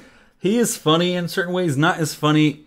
It's weird. He because he's got. But I don't again, think he's he- as funny as BB-8 though. I don't think like BB-8 doing the fucking thumbs up is like dominates K2 Right, but that's it because he's, he's he's he's two different characters. He's Exactly. He's Chewbacca in the sense that he's like an enforcer, and he's the Right. sidekick to mm-hmm. Cassian. They're they obviously have a, and you a get that from his opening emotional- scene where she beats up everybody and then she's about to fucking escape and then he fucking pounds her into the fucking ground. Yeah. Right, and I, I think the parts that I don't like is where he's, although they are funny, I don't know if he needed to be the comic relief. There is comic relief in other parts of the movie. I think Donnie Yen is very funny Yeah. in this. Um, He's naturally funny. and even Baze Malbus is pretty funny, Mm-hmm. and uh, the the Bodhi Rook or whatever, the Riz Ahmed character, has some funny moments. Although I'll, I'll talk weird about how his performance is a little weird in parts. Um, Who Riz? yeah, Riz was wildly underplayed. I liked him a lot more than Diego Luna or whatever Cassian. Like Cassian Cassian was the one of the most boring characters in this film. I like hated him as a character. I think they should have done more with Riz or Bodhi Rook. yeah. I mean, I'll talk about that too. But I think they have the the, the The- parts yeah, we're where, getting ahead of ourselves. the parts where yeah. K2SO is supposed to be obviously like C3PO, and I guess part of it is unavoidable because he's a droid. So obviously, he's calculating stuff in his head all the time. It's just the way that his brain literally works. But he has all these lines that are literally like direct C3PO lines, like, "Oh, do you want me to tell you the odds of whatever?" You know, and uh, that's almost like supposed to be like a throwback to like, "Oh, never tell me the odds" and stuff like that from hmm. like Yep. uh, the mm-hmm. first movies. But it doesn't really mesh with like him being like the nerdy calculating. Oh, do you want to know what the odds are of survival? With him like walking up and like grabbing Jyn by like Yep. the throat and throwing Yeah. her down, mm-hmm. or the parts where he's like, "Oh, like I wish I had a pistol." And like I think if they had stuck with him more It's a being a, ro- product, a yeah. robotic Chewbacca, mm-hmm. it works better with. I mean, I don't know if this is a spoiler, but in the end, like he ends up being like a, a pretty big like action sequence at one point, Which again like- could have been a reshoot. yeah, and he's he's like destroying stormtroopers. He's like really he, like shooting without like even looking where he's firing and stuff. Because you want me to tell you why it might be a reshoot? Why? Because they have scenes of um, in trailers, in promotional material, of like um, they have there's like a, literally like scenes and scenes and scenes of them in the trailer where I mean we have Jyn, we have the um, what is his name? Cassian. uh, Cassian, and we have K uh, 2SO or whatever running back with the hard drive in their hand toward like um, the AT-ATs or something, you know? Yeah. And they're they're mm-hmm. running back through the fucking like beautiful waters, you know, of the, like the resort waters, and they're running back to something. And it has, I mean, they have promotional posters and footage of all six of the characters running together in like the waters, kind of, you know? Like, so don't, I don't know if it was always, like, I, I know when they brought in another writer to change, like, fucking 40% of this movie, I know that, like, maybe that wasn't always the ending. Yeah. Interesting. Well, I mean, personally, I really didn't mind K2SO at all. I, I thought he was a good blend of, you know, you got to have a droid Well, in he every ends up single being Star one of Wars the movie. better characters. Yeah, I don't think Yeah. he's necessarily a weak link in the movie, but he, he seems like he he was meant to be a little bit more and better, and I feel like it feel it falls flat in a lot of parts. There's a lot of complaints that I have with this movie, but I think a lot of the good parts of this movie are enough to save any of the complaints I have. Like my overall score is not bad at all for this Mm-hmm. Right, right, movie. right, I right, came out of this movie so fucking pumped. and this is really just me being like, well, what? Let me just lay out all the stuff that I think they did wrong in this movie. They did a lot right in this Yeah, movie. which is, which is, I think, a lot we of it is, usually but do with again, a lot of it is yeah. in the climax, which will after the spoilers and whatnot. But yeah, Yeah. go on. Sorry. No, I, I just like and maybe it's my nerdy background a bit, but I really appreciated his like, oh, here's the probability right now of success, and I'm like, yeah, you know, it's probably realistic, and that's kind of the way that I approach problems as well. Mm-hmm. So I, I thought it was kind of funny to have that kind of dialogue going on. And granted, I don't have as, I don't I don't have as personal a relationship with C3PO as you guys have. So maybe that's what it is. Maybe it's the fact that you guys feel it echoing C3PO and I don't because I personally just don't know C3PO as well as you guys do. So and I don't mind that's part of him echoing C3PO. Right. It's just him being two roles at once that are so obviously drawn from other Star Wars characters and they don't mesh well. Like because the C3PO side is like the C3PO is a nerd. He's talking about data all the time and probability. The smart guy and the tough guy at the same time. Yeah, and Right, he, he, yeah. he's he's mm-hmm. scared. He's always like, "Oh, mine." He's scared all the time. But then like K2S, so like, why does he care about the probability? Because he's the one that can walk up and just like grab someone by the throat and like throw them down. But doesn't that echo the fact that he was an Imperial droid and they reprogrammed him, or like is that lost? I don't know if he if the the fighting part is part of his reprogramming. It could be. It could be an explanation. But I just think on a surface level, as a character, it doesn't really mesh as well. Hmm. Like individually, those the lines where he's talking about you know probability, they're funny. Those are the ones that people laugh at the most in the theater because they're mm-hmm. the most well delivered. Um, but I think maybe to make him a more concise and better character, especially with the way the movie ends up in the end, it's probably better if he's more just the the Chewbacca character. He's the enforcer. He's the sidekick. You know, hmm. Because the C3PO character is like the annoying side where he's like annoying Cassian with like this stuff, whereas the Chewbacca side is like he's the one who's got his back, which is like Right. Chewbacca and you know, although I guess Chewbacca does annoy Han Solo a lot of times. Right, yeah, right, they do yeah. argue. um, I guess my I guess my question is why does it have to be mutually exclusive? because I think sometimes in because it's like a- it's like a nerd in, in a like a heist jock body, movie or an adventure like action movie. I think sometimes the guy who's great with the gun or the guy who can hit a shot every time is not always the guy who can perform calculations and be like, I can hack into the mainframe. He's not the guy who's also the sniper, kind of, you know? Yeah. Like, it's there's too many traits going on. And even though you're a droid, maybe for the sake of filmmaking, we should separate those traits to Yeah. make entertainment more. Uh, yeah, I mean, Okay. yeah. And again, that's- it's not it's that's not all. a fatal flaw. Uh, right, it's- yeah, yeah, exactly. It's it's it's not terrible, but it's like it's um again, it's it's combining two different uh, traits that we've seen in Star Wars. Where I, I guess yeah. I guess I'm kind of looking at it more from like a and le- especially in less a- of a. Yeah. Go on. oh, I'm sorry, uh, and especially in a film where we have so many characters. That's true. That's very it, that's yeah. very true.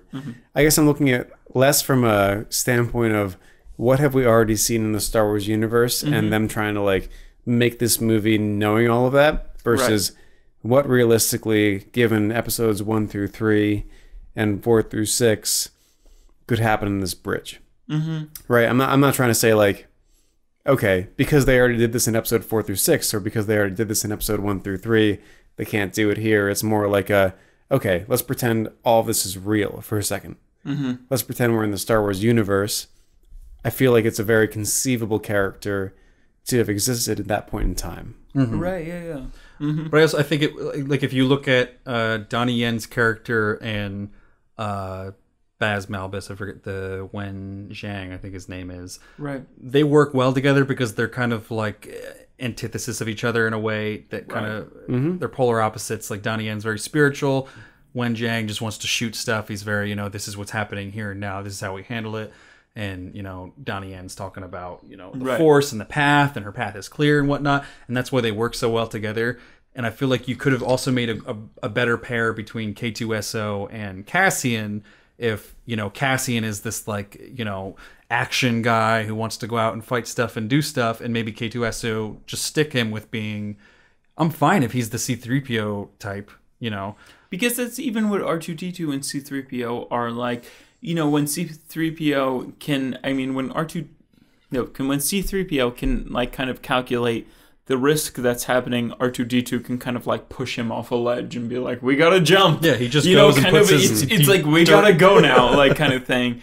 Where KS or K2SO kind of embodies like three different characters almost at Yeah. once to kind of make these they different have they, they should Yeah. have focused more on how does he connect with Cassian how do we make them more of like a you know an inseparable pair it Right. would make you know the ending of the movie a little bit more emotional at that point at the end because I think one of the strongest points is the the Donnie Yen and Maze Balbus because of the, the relationship that they have um, especially because uh, Jyn is kind of a stranger to all of them at this point. So like, I don't really care about Jyn and Cassian. There's not a lot going on there. It's more Cassian and K2SO that I would have liked to see a more defined connection in terms of each of them having a more defined role. Cassian, he is kind of like the action bad guy, but again, we don't get a whole lot from him.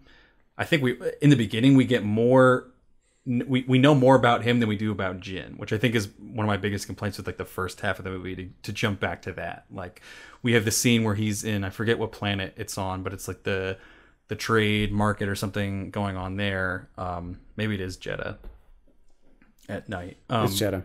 It's just, just Jedha at night. Right. Um, but he he meets up with his one contact there, and the guy doesn't have an arm, and he like kills a stormtrooper, and he's like, you know, you idiot, like I can't climb out of here, I only have one arm, so he ends up shooting his friend so that he can get out, essentially. Right. Which was something I was going to bring up before in terms of that's a point for it being a darker movie. That would have never happened in other Star Wars movies because it's always so you're a good character or you're a bad character. And I kind of like that in terms of he's a little more ambiguous because he's so devoted to the cause that he's willing to do something that he's killing a good guy, not a bad guy. Right. He's killing a good guy so that he can get out and serve the cause. That was a big moment in terms of the beginning of the movie, in terms of the fact that Star Wars has always been good, versus evil. Yeah. right? And I, I think this movie went out of its way. Maybe that's part of the issue with um, not just the droid, but maybe a bunch of things in general. With you know, the droid is this and the droid is that.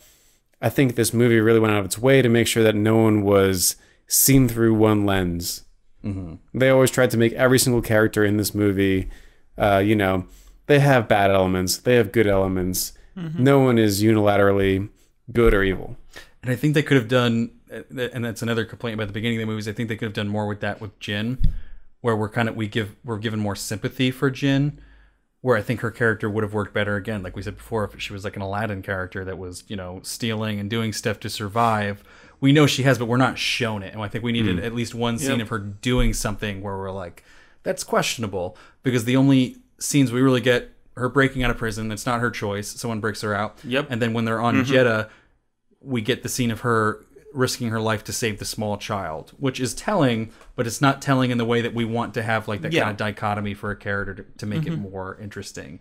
And I found myself having a hard time really caring about Jyn until she reads or hears the message from her father. Mm-hmm. Just because we then we and it's not maybe the character that I was hoping we were going to get, but it, the character that we do get, it's more of just having that emotional connection to Jyn where, you know, we see her crying. Felicity Jones puts on a pretty good performance there, and we can tell that she's invested in the rebellion from that point on. And it would have been cooler to have more of an antagonism against the rebellion to make that, you know, Yep. more meaningful when she does decide, you know, all right, now I do have to help the rebellion. Is what my father would have wanted. I get that. Right. Yeah. Um, but yeah, I mean, let's talk about all these different characters that are sort of. I mean, I feel like when we first heard about this film, I think I think we thought that, um, or at least I think you and I were talking about this with, um, you know, our friends that uh, this was going to sort of be like an Ocean's Eleven sort of of Star Wars, you know, where they bring together a few of these characters to do this sort of job. Um, again, that brings us into it's like the three point not like episode three point nine uh, of Star Wars, um, but it's a little less like that. I mean, again, we don't really have that many character introductions. We again, we don't really know that much about Jyn. We don't. I mean, we know a little too much about Cassian, and I really still don't fucking care about him. I don't like his performance really that much. Um, I um, I really prefer the the Bodhi Rook character. I would like to know a little more about him, and I think he gives one of the best performances in this movie. Really? Yes, I didn't think he was bad. I was just very confused. I think they- he was I was very- confused what they were going for with his exactly. character. No, no, no, no. The Riz Ahmed. He's the Indian or Middle Eastern. I don't know what he actually Right? Yeah, yeah. is. He's he's the uh, pilot. Oh, he's the pilot. Okay. Uh, that so has- he was me in the movie. what is what is his? He does look a lot. We we have talked He about does. this outside of the podcast. Yep. That Riz Ahmed looks like Evan. He's a super handsome dude. Obviously. if you Um, shaved your head, you're Riz Ahmed. and I think maybe he just had a bad testing in the uh, the test. Uh, what's it called? The test screenings because maybe the, the night of, and they thought he was a murderer. And I still haven't seen that. It's really good. You should on watch it. HBO. Um, Saw the first episode. Need to watch more. same. First episode. Same. The first episode is awful. It's It's, like- the worst episode of the series It's by far. fucking it's Nyquil. It make, it's made me fall like asleep like 20, two times in a row. But now that I know that I'm in it, I, I should probably. Right. Yeah. The first episode is like, oh, you know, here's what happened, setting everything up. The rest of it is like this really tense legal and like jailhouse like drama, which is way more exciting. Which than- I love. HBO does great. It's great. Whatever, everything going on. Uh, but yeah, um, I, I, he gives really great performances. He's a great actor. He's a lot better than Diego Luna. Honestly, Diego was, I didn't think just he was kind bad. of like. I just I wasn't hey. sure what he was going for because a lot of time you can't really understand them, and I don't know if that's a character choice, and if it is, I don't know what like the justification for it is because they don't really give him a backstory besides he's an imperial pilot that defected. Exactly. Which, like, defected. That's uh, what we were looking for before. But also, it it's kind of like we don't we we know nothing about him, and it's even when we like, get we kind get of we get some lines that work like when he there's one thing where someone says something about Galen and he literally just says I think it's when Galen maybe Galen's about to die or whatever. good man. He- there- there's something where you could tell he had a connection to Galen. Like Galen was the one that kind of convinced him that you know the Yeah. rebellion was the way to go and convinced him to defect. And he had some kind of strong emotional bond to Galen. And I Mm-hmm. wanted more of that. And I I don't know. I just wanted to know more about his character because he he's like he's hard to understand. He's talking fast. Like even like the the one scene, and I really like his performance in that scene um, where he has to like talk over the the comms or whatever to explain everything, and he literally has to like stop and be like, because he's, he's like stumbling over his words so much. But it doesn't. I don't know if it totally jives with him being like an imperial pilot. Right. Like it just feels like a weird character trait, and I feel like if we had more backstory, I'd be more willing to go with Well, that. I, I think one of the things I have to imagine when I'm looking at any of the characters in this movie is the fact that there is intense, incredible bravery involved with all of them. Mm-hmm. But with that comes a certain element of fear. I mean, let's think about it realistically. There's this guy who is an Imperial pilot.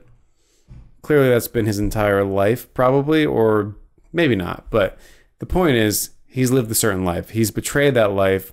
He's betrayed everything that is safe. If you want to think about the Empire as a safe mm-hmm. existence.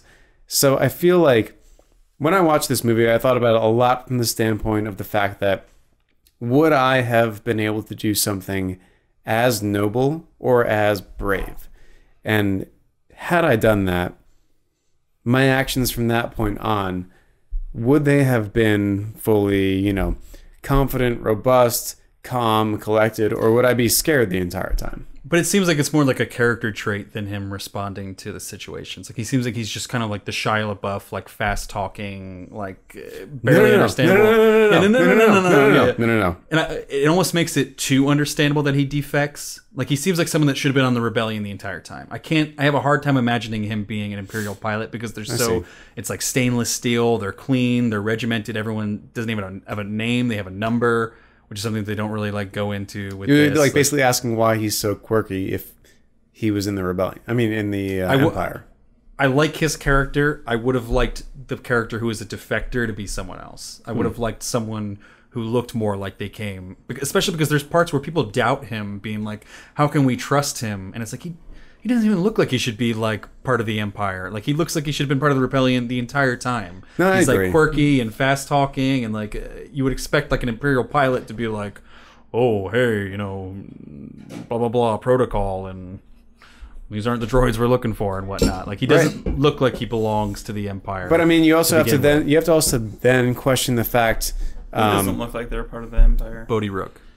Exactly, because the pilot, but all of the fucking Empire is fucking old white men. I, I agreed. Yeah, it's true. So, I mean, I mean, there, Like there, the there is- government. there is the Sorry, race that comes in there. Um, but you have to also question what pilot would Jyn's father have trusted, right? I mean, like, because at some point there was some relationship or something was going on where he said, "I can trust this pilot. I'm going to give him the deepest and darkest secret." So the fact that he maybe never really fit in with the Empire, or you don't see him as someone who would have defected from the Empire because the Empire has a certain type of pilot, he would have also had to make that decision on his own to say, "I'm going to trust this pilot." In particular, so right. maybe but then it you're right. just makes it harder to believe the parts where people are like, "How can we trust him?" And it's like, Right. right. look like if, like I think uh, for that specific role of being the defector, I would have liked someone who was more clean cut, you know, whatever. Where you would, I wanted as the audience to doubt him, but you never doubt him as the audience. You trust him right away because he's quirky and whatever, and you know that you know Mm-hmm. you can tell that whatever is in his heart is pure just from the way that he acts. So I mean, I feel like you're almost calling into question how did he ever survive in the Empire the way he was? Yeah, I don't even know how he was part of the Empire. He's got like long Makes hair sense. and whatnot. Like he should have had like shaved head, like crew cut, whatever. You know, I mean, I don't know how long he's been a Old defector white again, man, and, and they don't really old go. white man haircut. Yeah. But uh, but I guess like yes, I do see- like the I do like his character. I just don't like the role that he's put in. I feel like we should have Bodhi Rook should have just been another rebel character that we were given, a good rebel pilot, I got you. I, a I- I- nerdy I rebel think- pilot, which would have been cool because we have you know other movies where you know uh, what's Force Awakens, what's the pilot and Poe. Right. who's you know this like you know cool guy that like everyone's like shaking hands with when he like lands. He's like the leader of the rebellion was- practically at that point because was- he's a cool pilot. It would have been cool to have like a nerdy pilot who like Mm-hmm. people are kind of like oh god like Bodhi's coming around. True. I think I think it's I think it's interesting to think of from He's got a weird ponytail and we don't know what he's saying when he talks. I think it's interesting from the perspective of you think of Jyn's father, right? Uh-huh. Imagine having that grand task of being behind the architecture of the Death Star. Mm-hmm. Let's say you design. Well, I'm not going to give anything away, but like, so he had to choose someone in the Imperial Army to carry his message eventually to, you know, the rebellion. How do you choose that person? Who would that be? It's got to be someone who's so deadly obvious, maybe you know, it's got to be someone like that that you choose and you say, I see this person, they're part of the Imperial Army, army, but they clearly don't embody all of their visions and they Yeah. must have this, you know, thing deep inside them where they have this ability to defect. But like I mean like even the parts where like the the inspection crew comes on when they're landed at whatever uh Scarif or whatever. And like just the way he's acting, like responding to the ex- inspection crew, I'm immediately like, why are they not more suspicious? Like he just didn't seem like he's acting like an imperial pilot because they're pretending to be imperial pilots at that point and imperial um, freight crew or whatever. And I'm like, why are they not more suspicious when they walk on? Like he's got like a like unkept uniform where every other imperial officer, like you know the stormtroopers, you know for the most part have like impeccable uniforms and like you know tightly pressed like uh, military grays for whatever the the officers have. It just seems a little out of place. Again, it's me being nitpicky. It doesn't ruin the movie for me, but it, it it prevented me from getting fully behind Bodhi Rook as a character. And I, I don't know if we made this point yet or if I have made this point yet, but I mean, we have the. Why is my volume on? Why is your volume on? My girlfriend wants to know if I made it to Mike's. Seven hours later.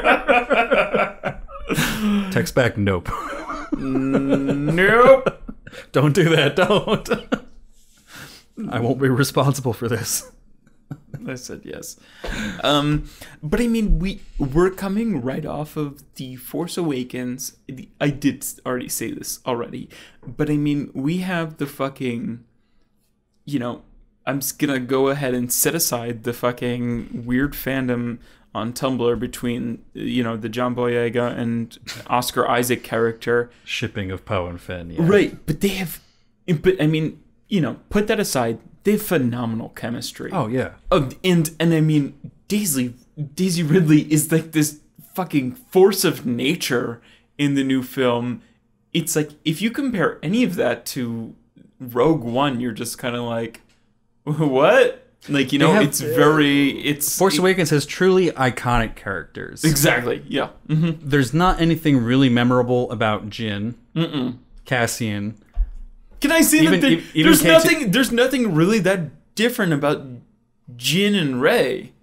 I mean, they both Jyn have from like, Rey, or Yeah, no, no, no. E- exactly. Yeah, there's there's kind of like if you just had a character like Rey, literally a exactly a year ago, why would you have a character like Jyn, who is a, a brunette, com, kind of uh, pale complexion, um, same accent, um, almost similar, very background. It's it's very it's very I- I confusing. like almost it's I almost would have liked it if they were more similar because I think the the things I don't like about Jyn is that like Same, she's in the I- main I character like- role that Rey's in, but she she's not as witty as almost like any other main character in any Star Wars movie. Mm-hmm.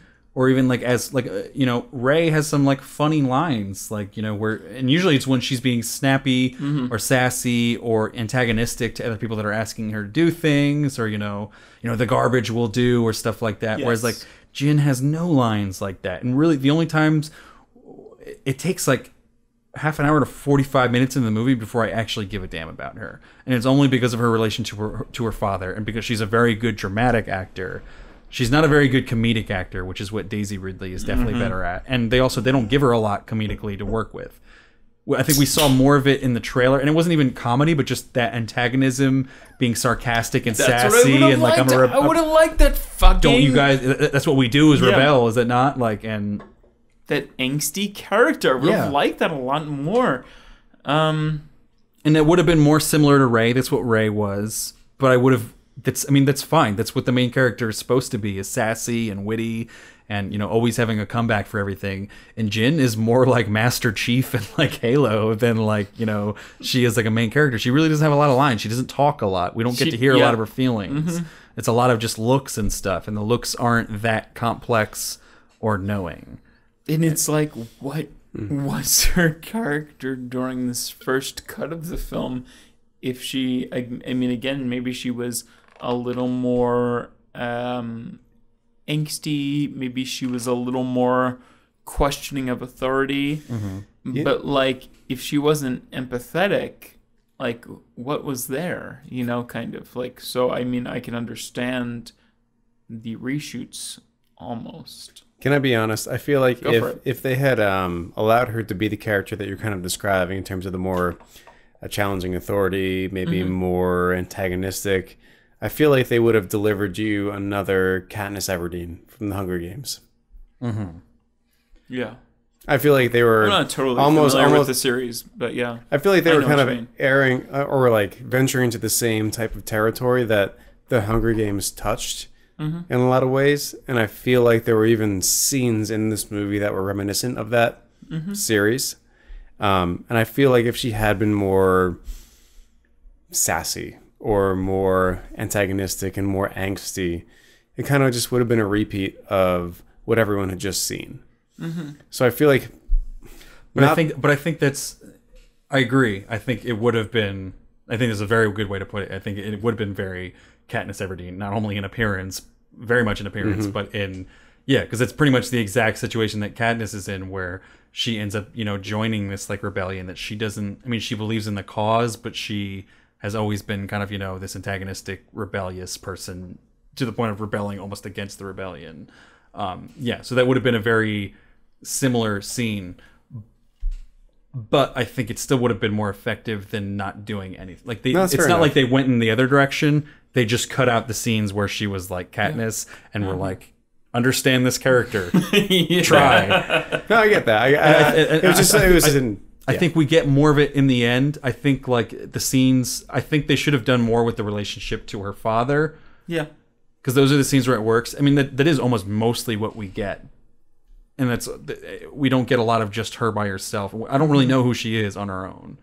Like, what does she care about? Like, Like, no idea. the only reason yeah. she joins the rebellion is because she cares about her father, and like that's fine. It ends up serving the purpose. It ends up getting us to care about her when we see you know her reacting to her father's message or her reacting to her father's death. Spoiler alert! Like, you know, it it, it accomplishes what essentially needs to do, but it doesn't create a memorable character. This is what we were talking about while you were in the bathroom. Is that there are like memorable characters in Force Awakens, like Poe, Finn, right? Like those are all like iconic character. I mean, not iconic yet, but they will be essentially iconic characters in the end. No, they're they're already iconic, and I think also, I mean, we have Rey, who you know, who understands sort of um, like droids. Um, she understands sort of mechanics and everything.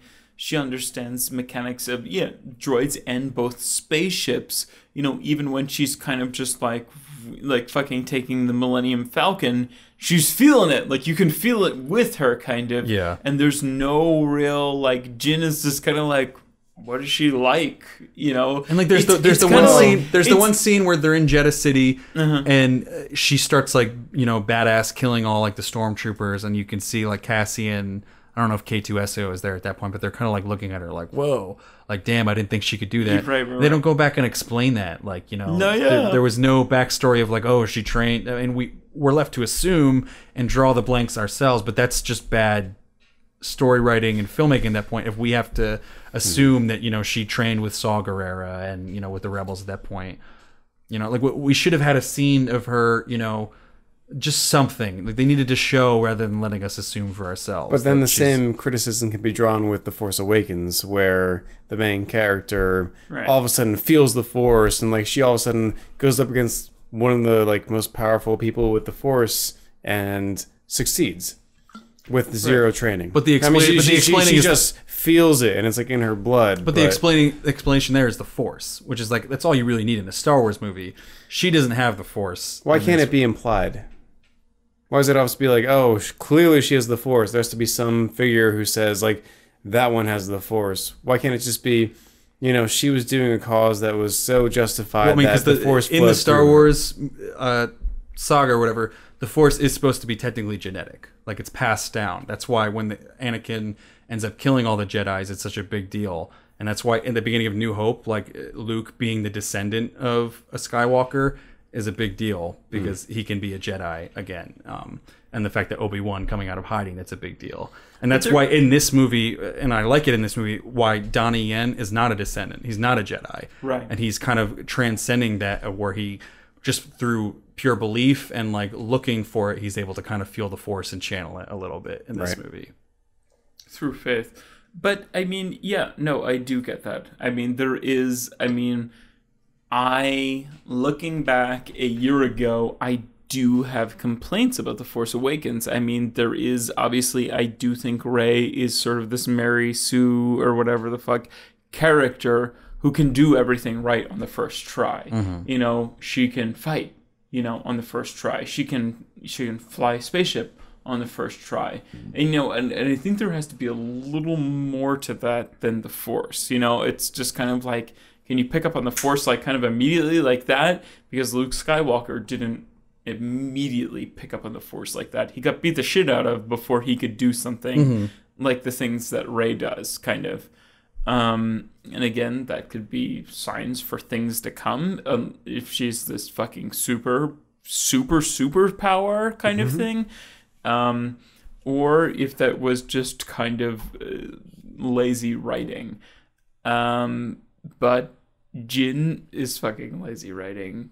Um, because she kind of does the same shit. I mean, there's kind of just I mean, even the the um the the Donnie Yen character is kind of just kind of like he beats stormtroopers with a stick and they kind of die almost immediately. Uh, which I wasn't like super crazy about. i think that's more of just a mesh of kung fu i mean that's just Um, Kung how fu, kung yeah. fu movies go is you Yeah. you hit a guy a certain way and they fall down and they're no one gets back I was up gonna say, I don't, I don't think I ever got the impression that he killed too many people. I think he just disabled them. Yeah. But Okay. I think Right. there's always been a little bit of suspension of disbelief in kung fu, where like if you know, so many guys come at you, you hit them all, they all just kind of fall. I don't down. know if I wanted kung fu in a Star Wars movie, to be honest. Hmm. Speaking I think of I'm that all right with it in an anthology movie because it is fucking cool to watch. Like, Yeah, it was. Yeah. Uh, I again, like we we talked about this in like Doctor Strange, but like I Mm-hmm. think that's what's like missing from action movies now is that like all hand to hand combat in action movies now is like shaky cam to the point where like you can't tell what the fuck is going on. Whereas kung fu is like a steady shot because the people are actually like doing choreographed like fight stuff like and Yeah. they're doing it like to an incredible ability and he's like the best of the best that there is right now I mean, the, And we Mat- got, the like, a Matrix is Yeah. the Matrix just did kung fu like to the tenth degree. oh yeah And we got like a nice wide shot during that that during that kind the, of the scene. first Yeah, that was a cool scene. Um, and it was, and we could see everything that was going on. It wasn't a lot of close-ups like we usually do get in Star and that's Wars. stuff that like that, yeah. that gets me more pumped up about action is when I like I can actually see it and it's not just like what the fuck am I looking at right now because it's, it's intentionally intentionally shaky Yeah. can to hide the fact that they're not actually fighting each other whereas with like kung fu I mean again they're not actually fighting each other but they're so skilled at you know doing this choreographed dance essentially of fight that It's like, an art. yeah, it's literally an art form, and it's really, really cool to watch. And I feel like we kind of got away from that for a while, and there was a little bit of that in Doctor Strange, which was really cool, and it was mm-hmm. really cool to see it again in this movie. I have a question. Um, speaking of that character that we're talking about in that scene, who did the kung fu moves, um, do you think that he was initially drawn to the main character because her necklace was Kyber? Yeah, I think that's how he saw Or it. Because Kyber? it was Kyber, yeah. I thought so too. Because apparently this character was like one of the people who were part of the temple, and the temple apparently had a lot of was it Kyber Kyber crystals, and they were stripping it for the because that's what powers the Death Star. Right, Yeah. because because in this movie, he really reaches out to her in the crowd and says like, he mentions her necklace first. yeah, and he's not even looking like anywhere near her because he's Right, blind, yeah. obviously. So I thought that was an interesting connection in terms of like her necklace having that significance. Mm-hmm. Yeah, and again, that's something that they, they it, it's there. Like her mom gives it to her, but they don't really have anything about her mom Yeah. for the rest of the movie. They have one weird dream flashback, and the the necklace serves its purpose as the the device there, but the mom doesn't really ever explain why it was given to her or why she was giving it Well, like to her daughter. I mean, or- or even like the Donnie Yen and the the Wen Jiang kind of like, why did we bring these guys along? Even kind of. I mean, yeah, they they helped us out in this one pinch, but um, I don't know. There there just like wasn't a lot of kind of building the team, you know. right i mean i think i think that again a lot of this is stuff where you have to fill it in yourself and i'm not necessarily a fan of that Mm-hmm. but if i am filling it in myself i think it's more that they, they had been fighting the stormtroopers there if they left them there they're going to die because you know eventually because the stormtroopers are going to come back you know they're not knowing that uh Jedha City is going to get blown up you know altogether um Mm-hmm. so i think that's more them like doing them like a favor and being like you know obviously you're on our side we're fighting the Mm-hmm. same enemy come with us there's nothing left for you here but yeah they don't even have like a, a line of like that literally come with us they're just Yeah. there right, yeah. Speaking of uh, fighting the same side, though, I thought one thing that was interesting in terms of character development and making sure that everyone was kind of like uh, multifaceted and not necessarily black and white. I thought it was interesting when Cassian got thrown into, I guess, effectively jail by Saw Gerrera's people, and they said, "You're no friend of ours if you kill one of our people." Because there was a definitive moment during that one altercation where Cassian shot one of the rebels. Oh, i must Yeah. have missed that really No, he, he was. He, he like lit up a Right, yeah. bomb, and I think I think the insinuation was they were about to throw the bomb into the area where Cassian and Jyn were, Right. and so Cassian shot Shoots one of the him, rebels. oh So he killed one of their own people, and that was kind of the insinuation of like, uh, "You're not our friend if you killed one of us," mm-hmm. Which I thought was an interesting light to cast. yeah because well. i mean Saw Gerrera is even their uh broke off faction from the actual rebellion 'cause they were too extreme Right, yeah. yeah. So I thought that was an interesting moment as well, where he was again cast in a dark light, right? Mm-hmm. I thought that was cool. Definitely. Um, So we're almost at like an hour 40. So I think we're probably safe if we want to. Because I think more of the stuff to talk about is towards the end of the film um, and towards the climax. So we're going to give an official spoiler alert here. If you haven't seen the movie, there's not a whole lot to spoil. There's I mean, you know, yeah. everyone dies, but there are some some cool things that we do want to talk about uh, that you probably will want to see for yourself. So if you haven't seen it, tune out here and uh, come back after you've actually watched the movie. Peace. Han Solo dies. Not this one. Not this one. oh, He's boy. still alive. um, Uh, I don't know where we actually want to start. Oh, here we can start here because I have my biggest fucking gripe with this movie. This isn't even really a spoiler. go for it. Um, I just forgot to bring it up until this point. Mm-hmm.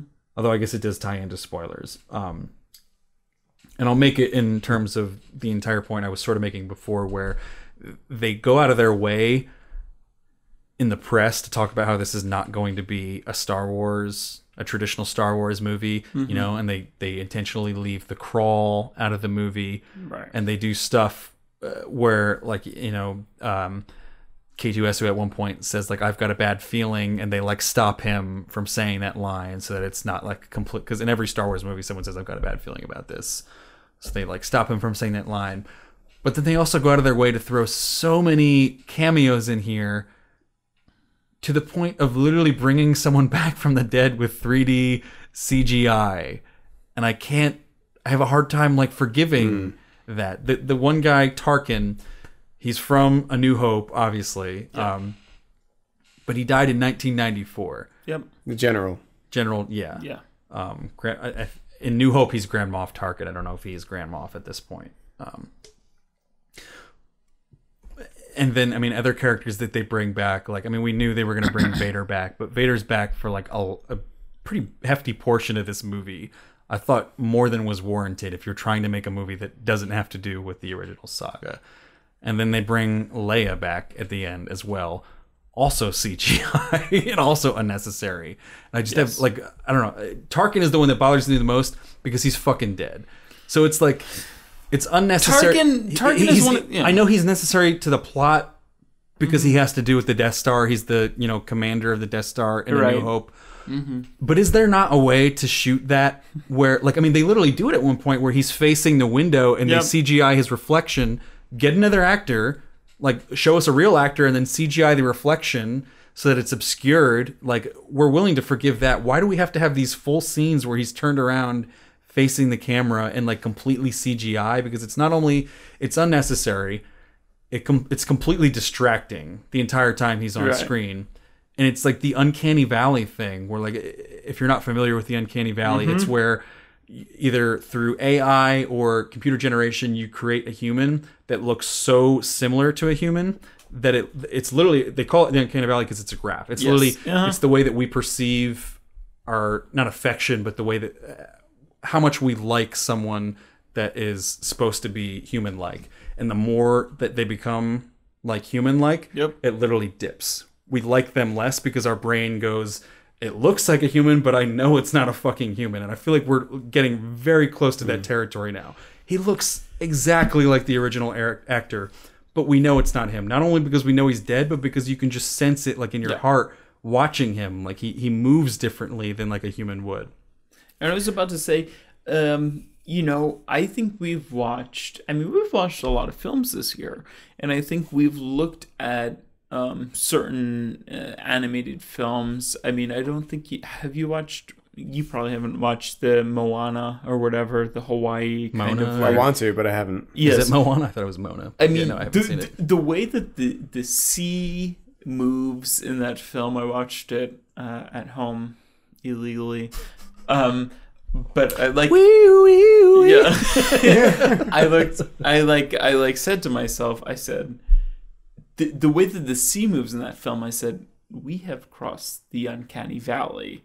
And then I saw this, and I said, "We have not crossed the uncanny valley. Maybe we've uh, crossed the uncanny creek, but not the fucking valley. Yeah. You know, like it, Humans it- are humans are different. it, it was it was kind of like it, his scenes looked like the fucking cutscenes in like Mass Effect or something. Yeah. They were just kind of like Like, And it's, I mean, it's, it's, it's like, definitely uh, it's the most realistic looking human that we've gotten computer generated. I think Mm-hmm. so far ever in video games or movie. Probably. But I don't think that's a good thing. I think it No, works yeah. against the movie. I think you could have very easily just shot him from behind, reduced his role Mm-hmm. because his role to begin with it undermines the main villain of this movie. The, Oh, the definitely, Krennic yeah. Mm-hmm. character, where like he's the one that we're supposed to be afraid of, and then he's got Moff, Grand Moff Tarkin above him, and then Darth Vader like above him. Right, Like, yeah, he- it completely yeah, undermines yeah. like the respect and like fear that we're supposed to have for this like Krennic character. So it's unnecessary, I think. You know, we could have had like one scene as like an Easter egg, maybe, where he and again Mm-hmm. shoot him from behind, have him facing, even be more im- intimidating if he never turned around to face you and he just Right, talked to yeah. Mm-hmm. like the window the entire time. Especially because in the original A New Hope, the actor uh, didn't Peter Cushing, know. I think he, he was not very emotive or expressive, and they Uh-huh. tried to go overboard to be like, look how much motion these 3D animated characters can have, and it ends up not really looking completely like the character because he's so like expressive. Like he, he moves every inch of his body, and it's more than Peter Cushing ever Mm-hmm. moved. He literally just sat there like with his hands, you know, behind his back, like, oh, Darth Vader, blah Right, blah blah, the exactly. entire time, Mm-hmm. and it ended up not looking like him. And it's also like it's borderline disrespectful. I don't know if it's even legal. Like, what, what, where does when you die? What happens with your likeness rights? We were I talking know. about I mean, this. it is. I mean, that happened in the last Hunger Games movie too, where Philip uh, Seymour Philip Philip Hoffman. Died, and they CGI'd him in. Even more so, I mean, I uh, Paul Walker. Paul Walker, yeah. Um, I mean, they. But it's one thing to like finish a movie that you were contracted for. no, no, I think you probably have a, a better case in court for this, and maybe there is. Maybe they literally asked Peter Cushing's family, "Do you mind?" You know, or maybe I would assume it probably, if anything, goes to the estate of the family, you know, or Mm-hmm. if the, the dead person, you know, and maybe there there was you know money paid or you know it was clarified, but it just feels really weird to completely animate someone who's dead that didn't agree to be in this movie. I don't have too much of a problem with, so I'll let you argue. And it just seems unnecessary. no, I wasn't, I wasn't crazy about it, honestly. It's mostly just because yeah. it's unnecessary. Like I think that's literally my biggest problem. is him. especially in a film that they are um, inventing just so that we can have this sort of multicultural um and and again maybe the maybe the the sort of resistance or whatever um is is a bunch of sort of I don't I don't know what I was gonna fucking say, but anyway, I I don't know. I- I- In this in this film where where they're inventing a ton of new characters, I I don't understand why Well, also, they where, where they're trying to separate There's- themselves, you know, by saying this is not a real Star Wars movie. Exactly. Right, There's right, no right. beginning crawl. You know, we, we won't say that line. Uh-huh. But then they just keep they literally bring a character back from the dead just to have an Easter egg. And I understand that it's important to the Death Star. But it, it was too much. It was Well, always well, a lot. here, It here's was my here's lot. my question though. I mean, like, Go for it. you guys talk, and like, this is no, no offense to either of you, but like, you guys talk a lot from the standpoint of making movies. Mm-hmm. I'm talking more from the standpoint of the story. Mm-hmm. I want to know the story. I want to know what happened beforehand. I want to know how the story would play out, regardless of actors who died, and like, you know, what respect to them. And maybe they didn't want their likeness shown. Maybe they would not have minded. Mm-hmm. But my point is, I want to see a movie where I want to see the story of Rogue One. And I think you guys focus a lot on the fact that, oh, well, these other Star Wars movies exist, and oh, this actor is dead. And you know what? As a movie maker, should I have done this, or the efficacy and all that? From my standpoint, I didn't mind the fact they brought him back. I knew he was dead. Did, did it not pull you? Did it not break the immersion for you though? Did you not think I'm like you know you you knew you realized you were watching a 3D character, right? Oh, 100%. I, I knew he was 3D. There, Did that there was, break the no immersion question. for you just at all? fucking cheek. I literally I can't remember any I can't remember any of the lines that he yeah. Mm-hmm. said because I was so focused on like they literally brought a guy back from the dead in 3D. Like why are they doing this? I literally cannot tell uh-huh. you any of the lines that he said. He said some one line somewhere I remember about like how he was going to control the Death Star instead of Krennic. It, it And was the movie still you know, functioned fine with me not understanding his line. It- That's it- even more case for me to say he didn't need to be in the movie. And it, and I think maybe they could have brought somebody on like like Domhnall Gleeson or something who was phenomenal Mm-hmm. in The Force Awakens. And again, he was this new character that was in um, you know, the dark side or whatever. And he just did a great job at what he did. And again, we weren't concentrating on his fucking cheekbones being like like you know like kind of like like it was just like it was weird it It's was also weird, weird, because like the the Mon Mothma character, that's I I understand they lucked out because they were able to find someone who looks exactly fucking like Mon Mm-hmm. Mothma from the original trilogy. But you also, I mean, like logic told you that that was not her, and it didn't break the immersion. You were just like, "That's she looks enough like her. I've got enough of the visual cues. That's Mon Mothma. Which I character is this? that." The the old lady with the short The hair, short hair and she's basically the leader of the, The rebellion at the base. yeah. Yep. Yeah, with the the white whole suit getting up, getting on. Um, because she's in the original trilogy. Okay. Obviously, that character is either dead or very very old and cannot play younger than she was in the trilogy. Got it. Um, and that was fine. It didn't break the immersion for me at all to have a new character there. Um, and then Tarkin, I feel like he didn't need to be in it as much. He hurt the story more than he helped it, in my opinion, in terms of Oh, undermining Yeah, yeah. Krennic. So they could have got rid of him. And then I don't mind the fact that they had Leia in the story, but I hate the fact that she was CGI. yep Like because uh, again, they're trying to like separate themselves from the original Star Wars trilogy. They keep bringing back all these characters.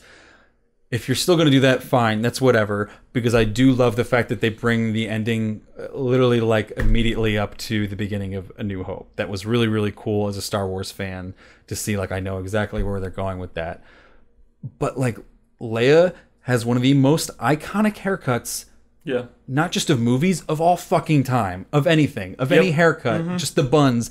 They she didn't even literally need to turn around. They could have just had a, a similar look-alike Yeah. pull her hood see the buns. She turns slightly to the side and says hope especially because she had only one line in this Yep. movie. Mm-hmm. They did not need to completely animate her Exactly. face and mm-hmm. break the immersion especially right at the end of the movie. Yeah. So i don't know which one i hate more but i hate both of them a whole, a whole lot They're, and no, I I, don't I agree yeah yeah and I've brought up a lot of other complaints.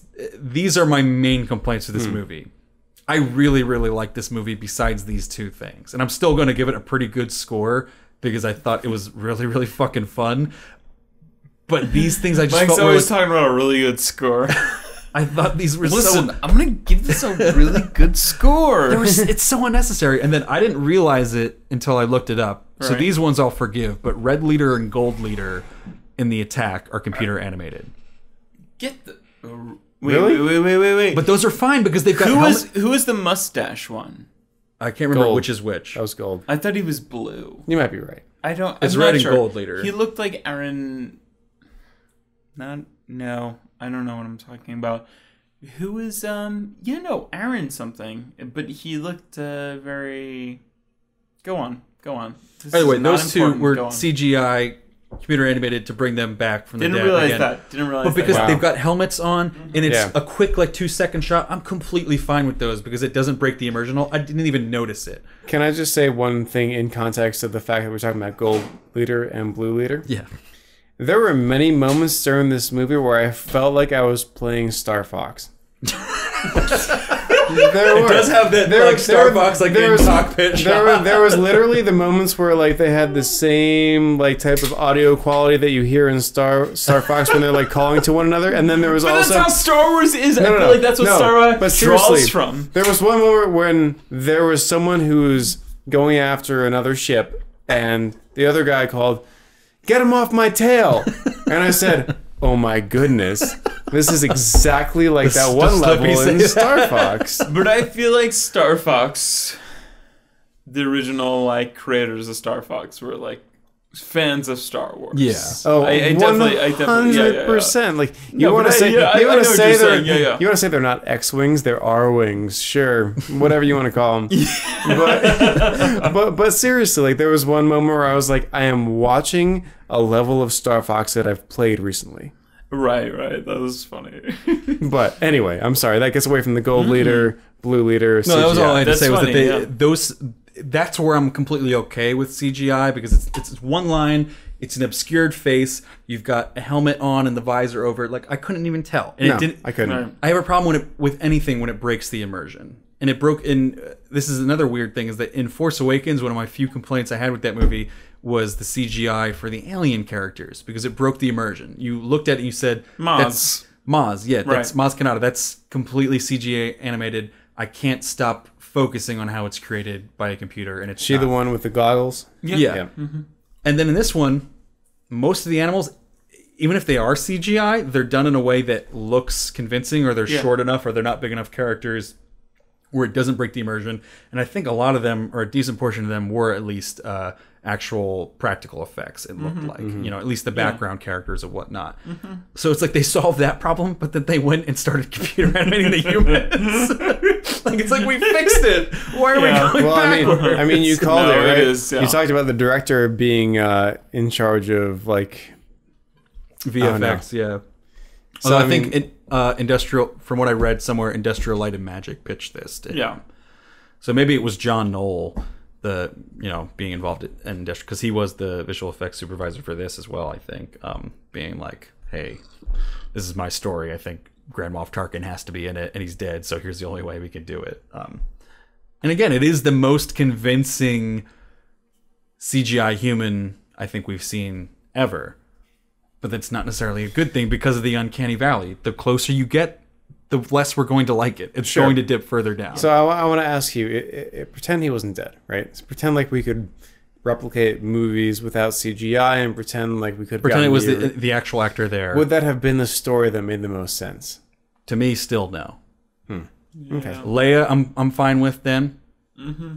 Gold leader and red leader, I'm fine with. But Yeah. him, I'm not fine with because it undermines Krennic. Krennic is the villain of this movie, and he's got a guy above him that's like that he's afraid of. That Right, is like yeah, his antagonist, and then above uh-huh. him, he's got Darth Vader as well, who's like mm-hmm. choking him out and making bad puns and whatnot.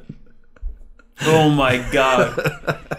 At one point, Don't Darth Vader choke on says, "Be careful not to choke on your aspirations." And I was like, "Oh no, that is something Darth Vader would not say." Ah. Oh, Although, to be fair, I have seen clips of Darth Vader, and Darth Vader has been like something I've known about my entire life. But Mm-hmm. I have never seen Darth Vader as badass as the final moments of this movie. Oh, the action scene I love. I wish it had just been that. Because that that would truly be like a, a cool Easter egg while they're doing accomplishing bridging the two movies together. And it it kind of is like a knowing thing where like in the original movies like the, the original lightsaber fight with Darth Vader and Ben Kenobi is like, "Oh, Ben." Whereas this And is it's like him like slashing and he's like and he's pulling like blasters up to stuff. the ceiling, and it's so But it's, cool. I mean, but it, it it's also like the effect of kind of like play as Darth Vader in like you know Battlefront, yeah. Star Wars Battle, like Star Wars Battlefield, Star of Duty. uh, Battlefield. What is it? It's Battlefield, Battlefront. Battlefront, Battlefront. It's just Battlefront. Battlefront. Certainly not It's Battle just Back. Battlefront. Um, but anyway, like you know, you're doing like backflips and being like, you know, and in this movie, it's a kind of a little bit like that. It's kind of like in um the prequels uh, trilogy when like Yoda. Yoda is doing fucking backflips in like aerials like through the air, and you're like, I was willing to suspend my disbelief for this one though, because it Yeah. was again, it was a fulfillment of what we all wanted to see from Darth Mm-hmm. Vader at some point, and we didn't get because of where technology and filmmaking Mm-hmm. was at that original point. You know, Yep. we didn't have you know these Western um, or Eastern rather choreography fight influences that we have had now at this point going forward. Mm-hmm. Um, I've never respected Darth Vader as a villain more. Right, but I feel like his dialogue, and it is still James Earl Jones, and I was glad that they at It least was. brought him back. I was wondering that actually. Because I thought he was dead. I'm glad to hear that he's still No, alive he's not and, dead. and making movies. Because he's fucking old. He was old when he made Star Wars. Fair. all right. Um, but he was still alive. But his voice, it sounds a little strained and different now. Well, And well, Yeah. I feel like they gave him too much talking lines. I was wondering if with Jer- James Earl Jones, if it was him, because I wasn't entirely positive, if the sound quality was different because of the age that it was in, or if they purposely made it different because they thought it would do better with audiences. I couldn't tell because like part of me wondered with if they did bring James Earl Jones back to do Darth Vader, mm-hmm. would they try to make it sound the same as in the last or the original three? They, I mean, they didn't. got pretty close because literally the entire time watching the movie, I thought he was dead, and I thought it was an imitator, and I was like, that was pretty close. But it is still like he, he his voice doesn't get as deep as it does in the other movies. It kind of stays in a that like mid to higher register the entire time, which is it's fine because his voice does do that in the original movies. I know this is getting very incredibly technical mm-hmm. and stuff, but it, I don't know. It was just I think there was too much of him in this movie for my taste. Again, looking at through the lens of you're trying to make an anthology movie that is separate from the original trilogy, yet you're mm-hmm. bringing the most iconic villain, not only of like all time, but of these this trilogy in for a more significant part. I would have liked him to have a smaller part in this movie. Hmm. And again, I didn't like him choking Krennic because it was undermining what was supposed to be the villain for us of this movie. Because then by the time when Krennic dies in the end, I'm like, okay, like Darth Vader was going to kill him at some point anyway. Or Grand Moff Tarkin was going to order like his execution. Like it wasn't a big deal that like Krennic died in the end of the movie for me Interesting. because of him being undermined by these other villains. He should have been the top dog in this movie. And if not, then we should have had a, a show off between, you know, Darth Vader and Jyn, which I don't think is the best way to go. So I think it should have been Krennic, the top dog, and we shouldn't have had as many scenes with uh, Grand Moff Tarkin and fewer scenes with Vader, and probably no scenes at all with Vader and Krennic, in my opinion.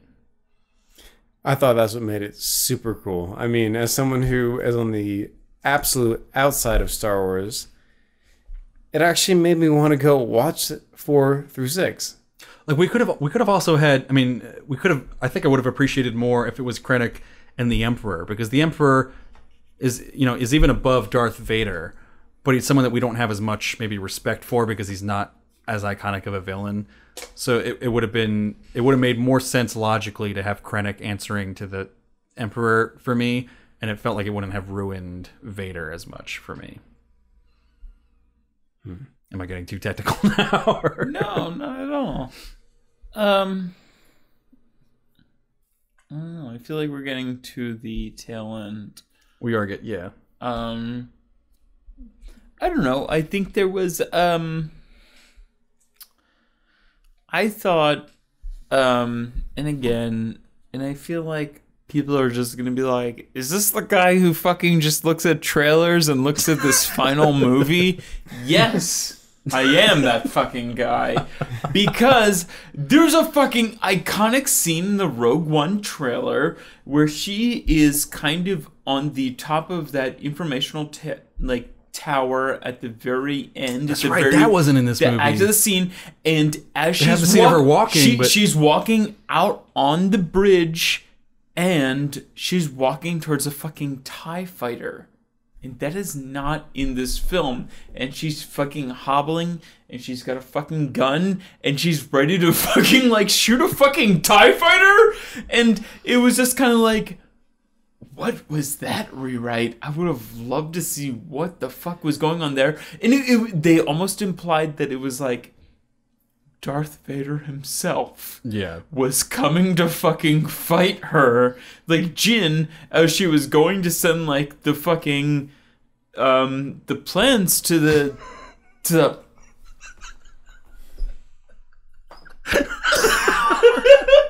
to the fucking Oh, okay. to the fucking rebel forces of the the fucking blueprint of the Death Star. Um But I So, but I think in a universe, what universe the fuck was that?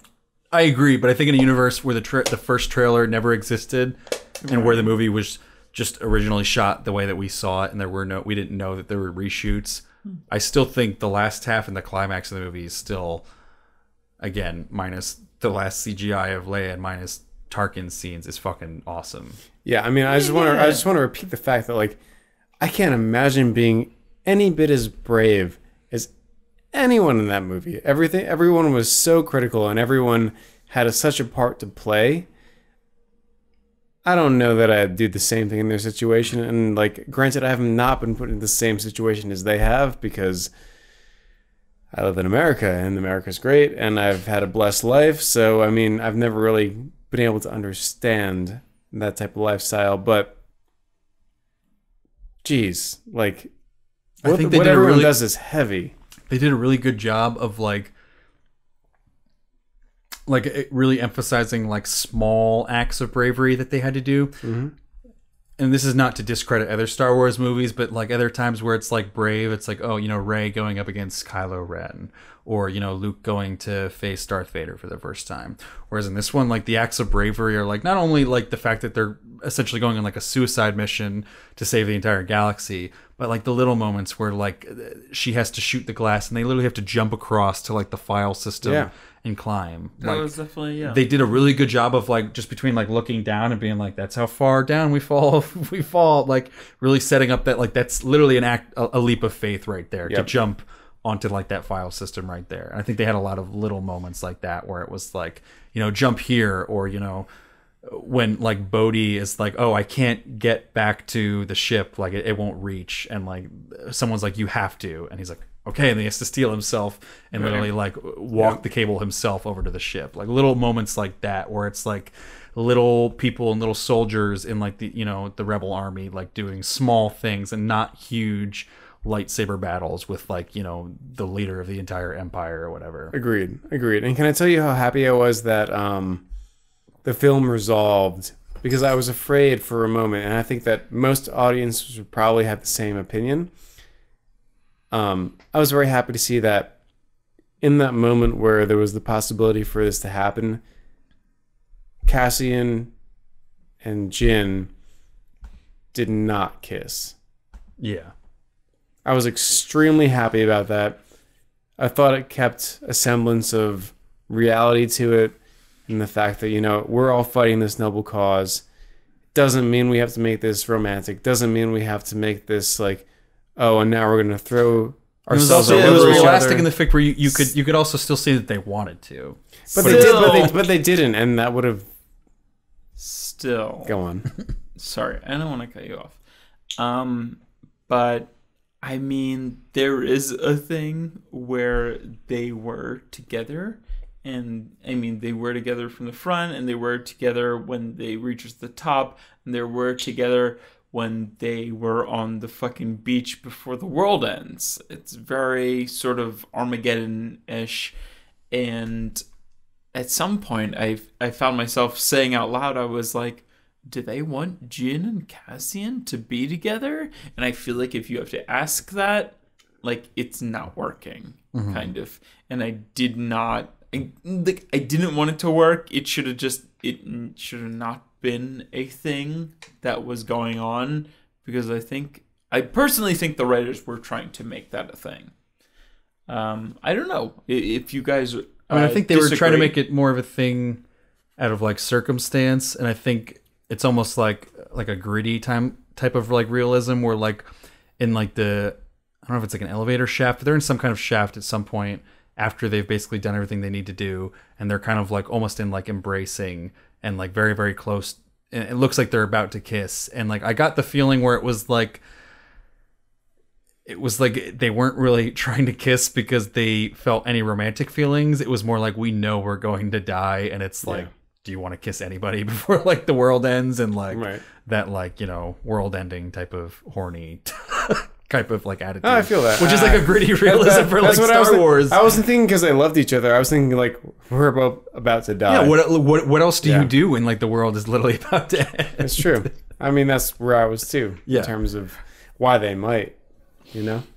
But I also like the fact that they didn't. I also really, really like the fact that knowing the plot of this movie going into it, that they didn't. I was really, really scared that they were gonna try to make some thing where like you know they all died, but like Bodhi took the ship and left and survived. You know, I, I thought they were gonna make you know one of them survive, and I'm really, really glad that they stuck with their guns. But and how would everybody. that work into A New Hope, though? You know, Well, I mean, they're all minor characters. They wouldn't have necessarily. I, I don't been- know. I just feel like the Star Wars franchise wouldn't have made the risk of one of them surviving, uh, just because of, you know, they would have been a character in the New Hope, or you know, like I don't know.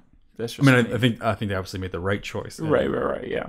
all of them dying. I just I was concerned knowing that it was a Disney and just a Star Wars that they were gonna that they weren't going to stick with all of them dying because it is it's a grim ending for Star Wars, much less fucking Disney owned Star But it Wars. gave us so much more gravity. Yes, and I, I Again- love the fact that like not only did we know they were all going to die, but we still felt when all of them died. Like Yeah. especially like the Donnie Yen character, Bodhi, fucking when he dies, K2SO the robot, All of when he them. dies, all of them we cared when they died. Maybe not so much Jyn and Cassian, but all this. I mean, that's like the, the complete end of the whole thing. So it, it's not as important there. But the individual death scenes, like There are also instrumental linchpins in the entire plan. Mm-hmm. Like, if you remove any of them from the movie, like let's talk about like literally any of them, in terms of the script that was written, right?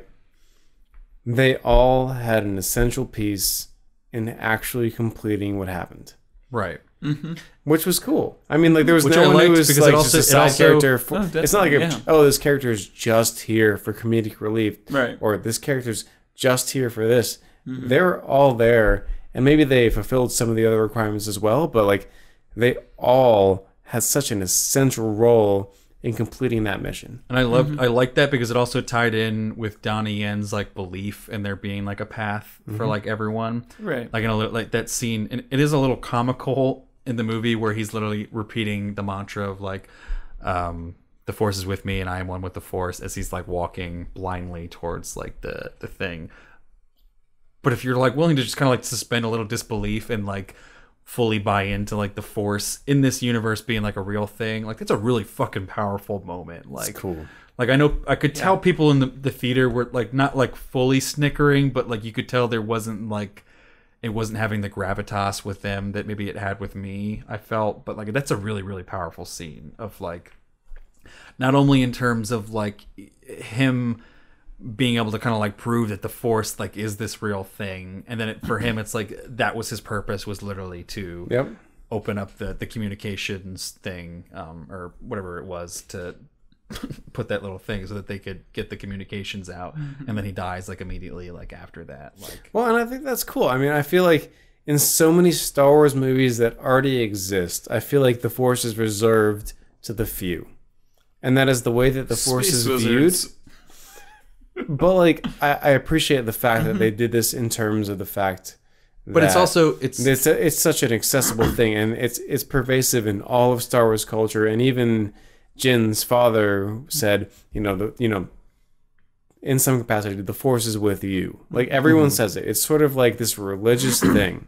So I think it's awesome that they kind of conveyed it through this character who sees it more of a mantra, more of like a spiritual, like the force is out there and I'm one with the force. And he's able to convey that through himself just by belief, as opposed to being a Jedi.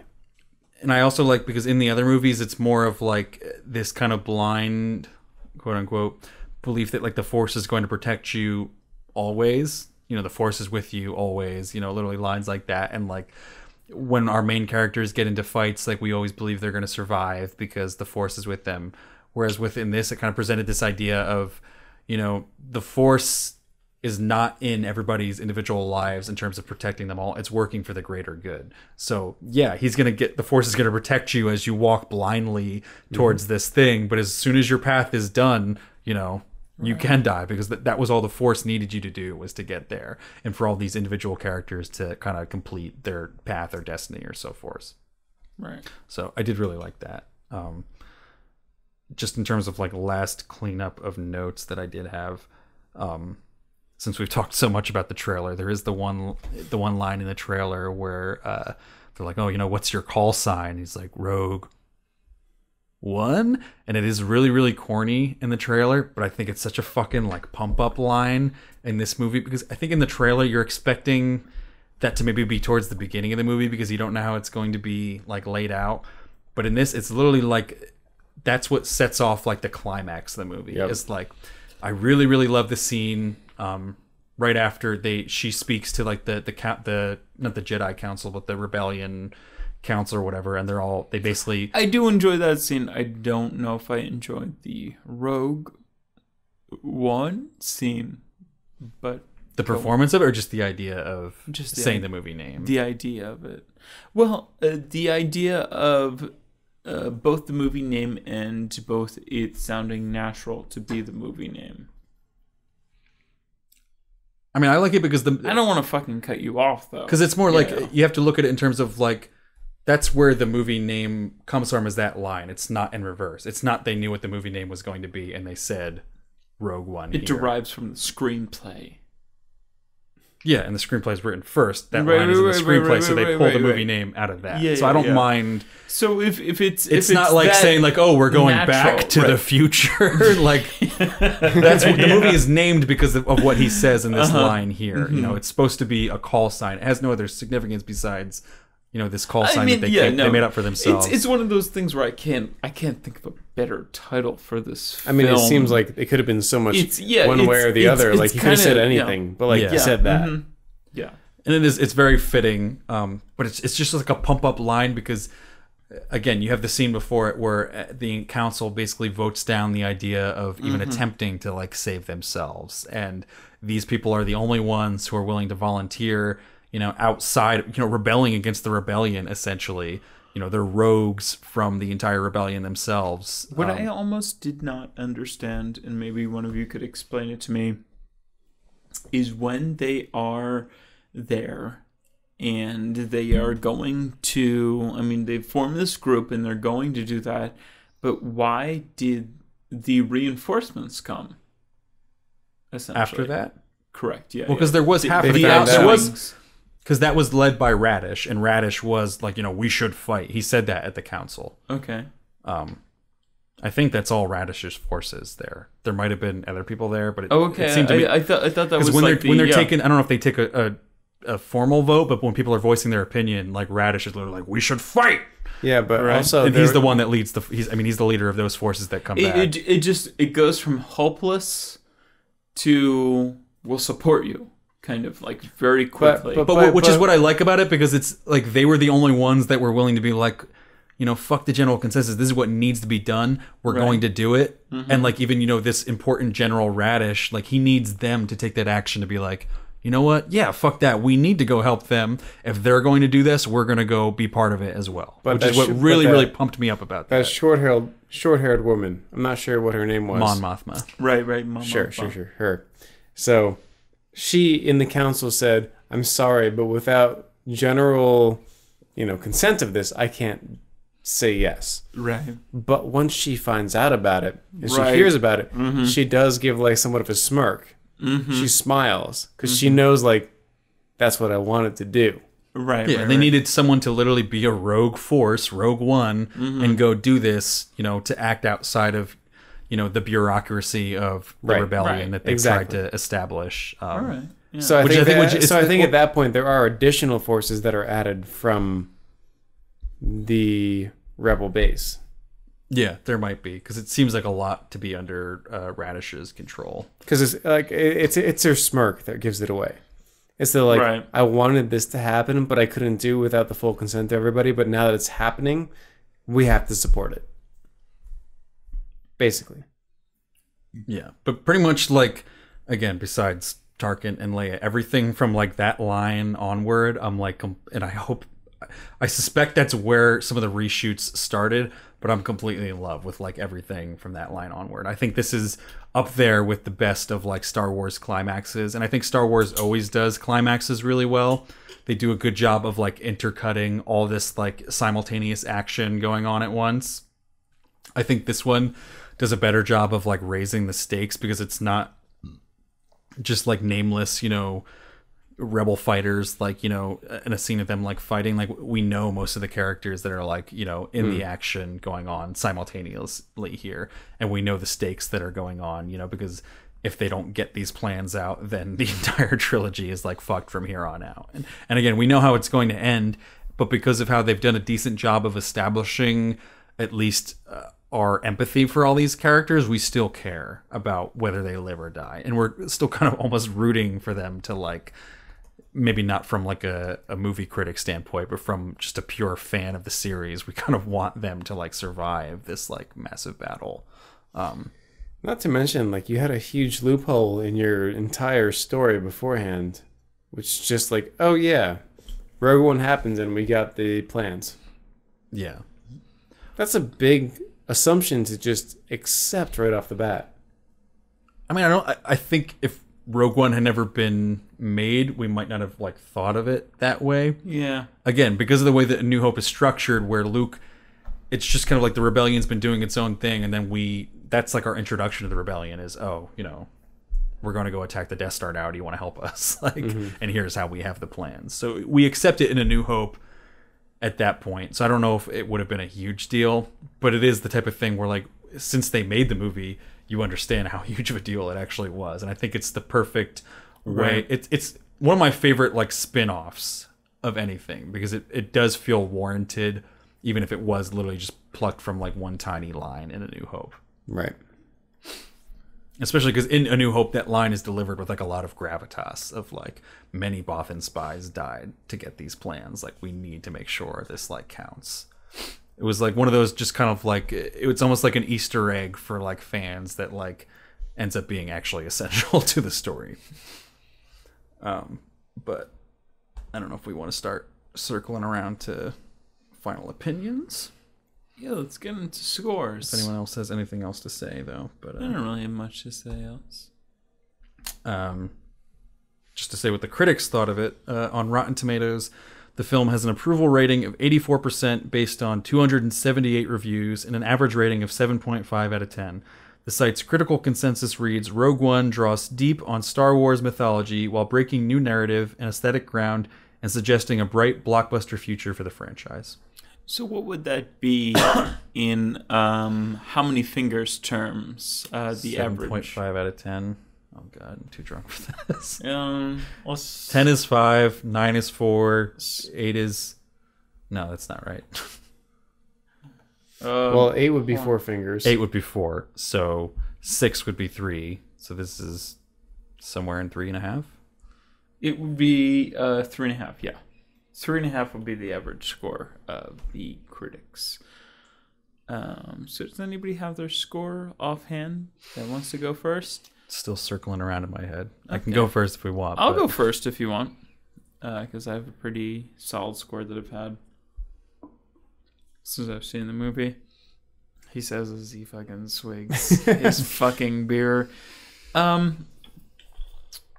So, I mean, I know I had a lot of um shit on the reshoot uh, again because it's a gigantic process of the filmmaking experience of both uh, Star Wars and you know it's just I'd love to learn about you know what happens in filmmaking.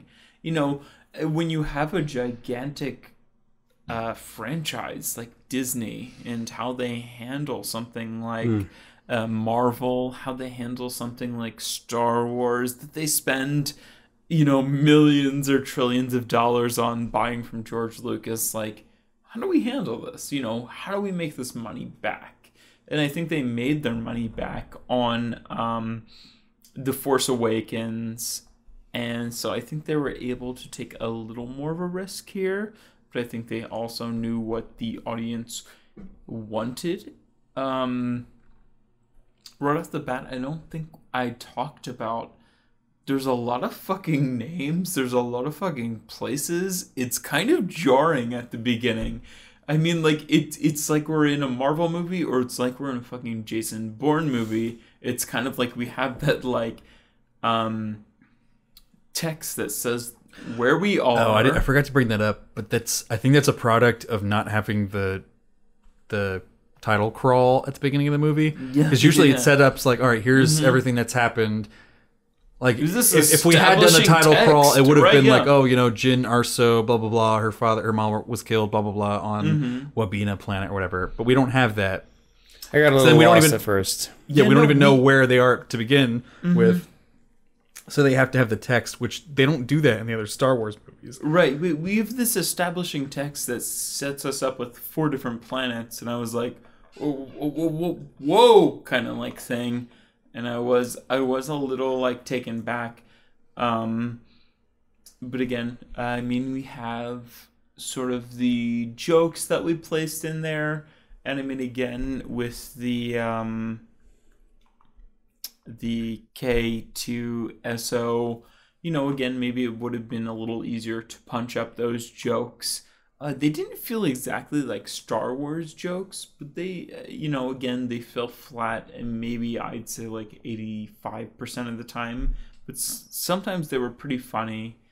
Um, again, maybe because he was a droid, it was it was easier to punch up. Uh, There was a lot of noticeable ADR, um, but I feel like maybe this um, this concept was easier to pitch just because I feel like in the uh, the prequel series, it was you know like you had like the all this like fascinating technology, but like up until like the last scene of like the prequel series, like where you had like the Death Star being built, and it was um you know they were kind of like watching the Death Star being built, and you were kind of like, oh, like this is kind of like ugly, kind of like you know, like it was it was weird, like the aesthetic of like the the prequel series, um, like this was kind of like an easier, like maybe this was pitched as like an easier,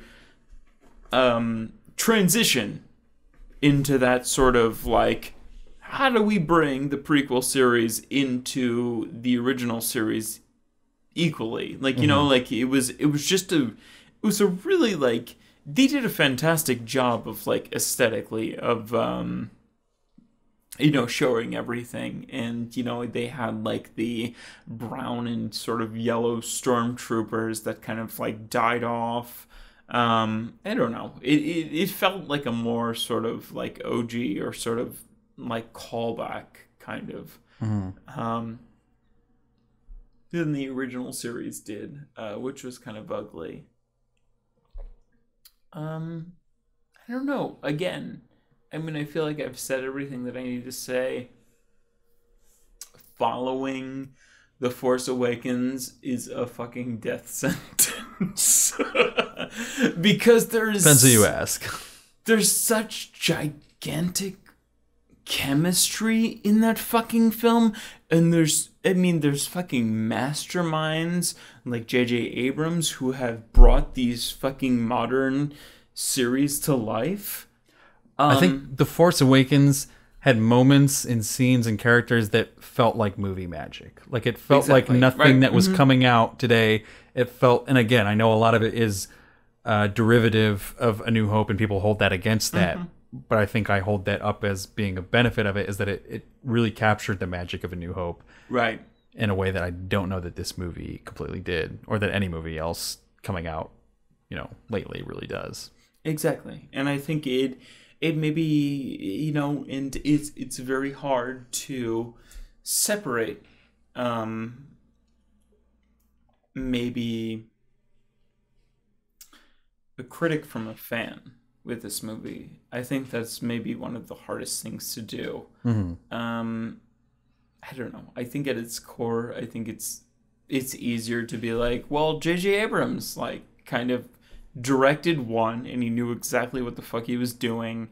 And I mean, we have this, you know, this newer director, which I didn't even get into.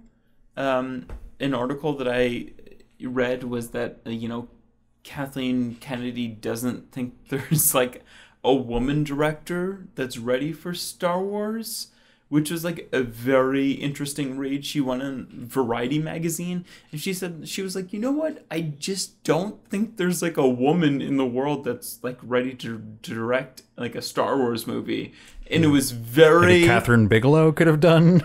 no, exactly. and like fucking, you know, look at the director of this one.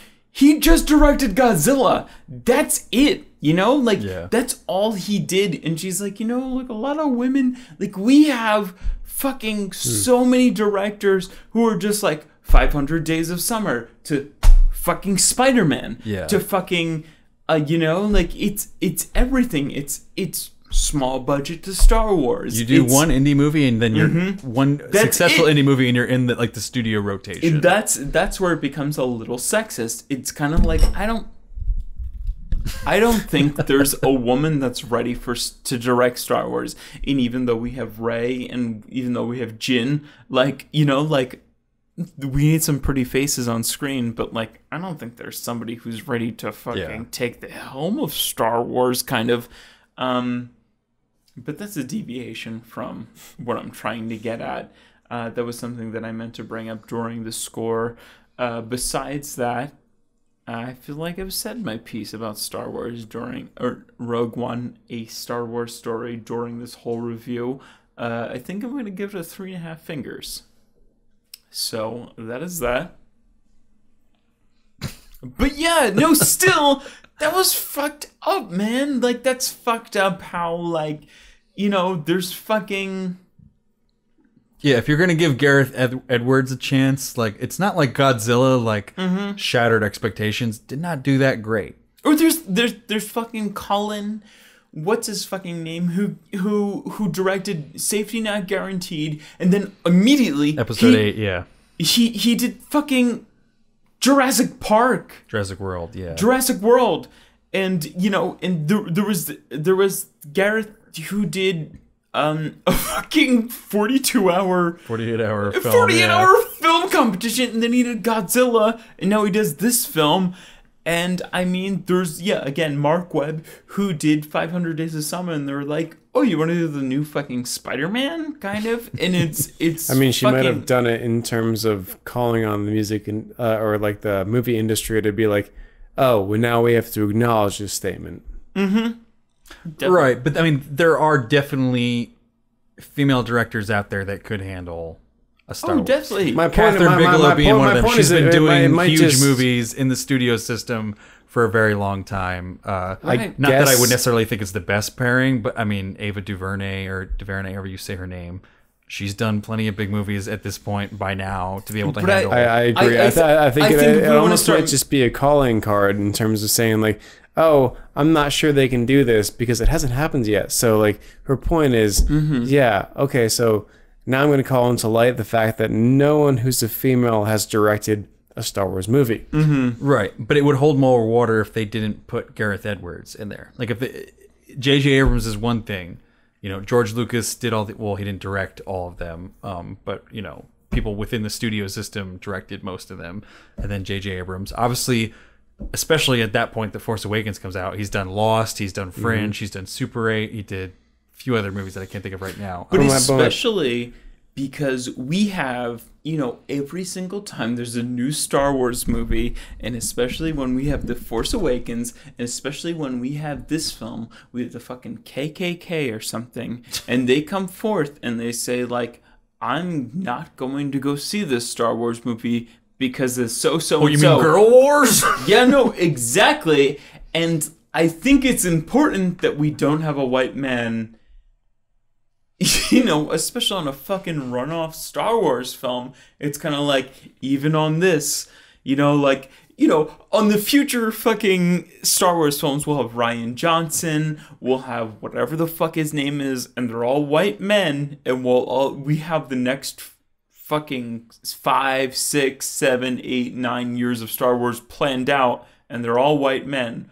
Why can't we have a runoff Star Wars tale that's not like a white man directing it? You know, it's like we can have Rey, we can have Jyn, but why can't we have, you know, behind the scenes somebody who is portraying, you know, Well, I guess that's my point is the fact that I feel like she might have made that statement mm-hmm. to call question to it. right? And may- maybe it's not. Maybe maybe she genuinely thinks that like yes, there's not a Star Wars that can be directed by a female director. Mm-hmm. Maybe that's her belief, or maybe And it's she- just a it's- it's statement like to try to draw attention to the fact that there hasn't been yet. it's not completely out of left field. Like, I mean, you can see where she's coming from in terms of the industry has not given a lot of chances to female directors. Oh, you definitely, know? right, yeah. And it was a huge fucking deal when Kathryn Bigelow won Best Director for uh, Hurt Locker. Mm-hmm. You know, because it had it was a little unprecedented, and it was a big deal when Ava DuVernay was not nominated for Best Director for uh, Selma um, two years ago, I think it was. Um, so yeah, there has not been a lot of opportunities for female directors uh, to begin with.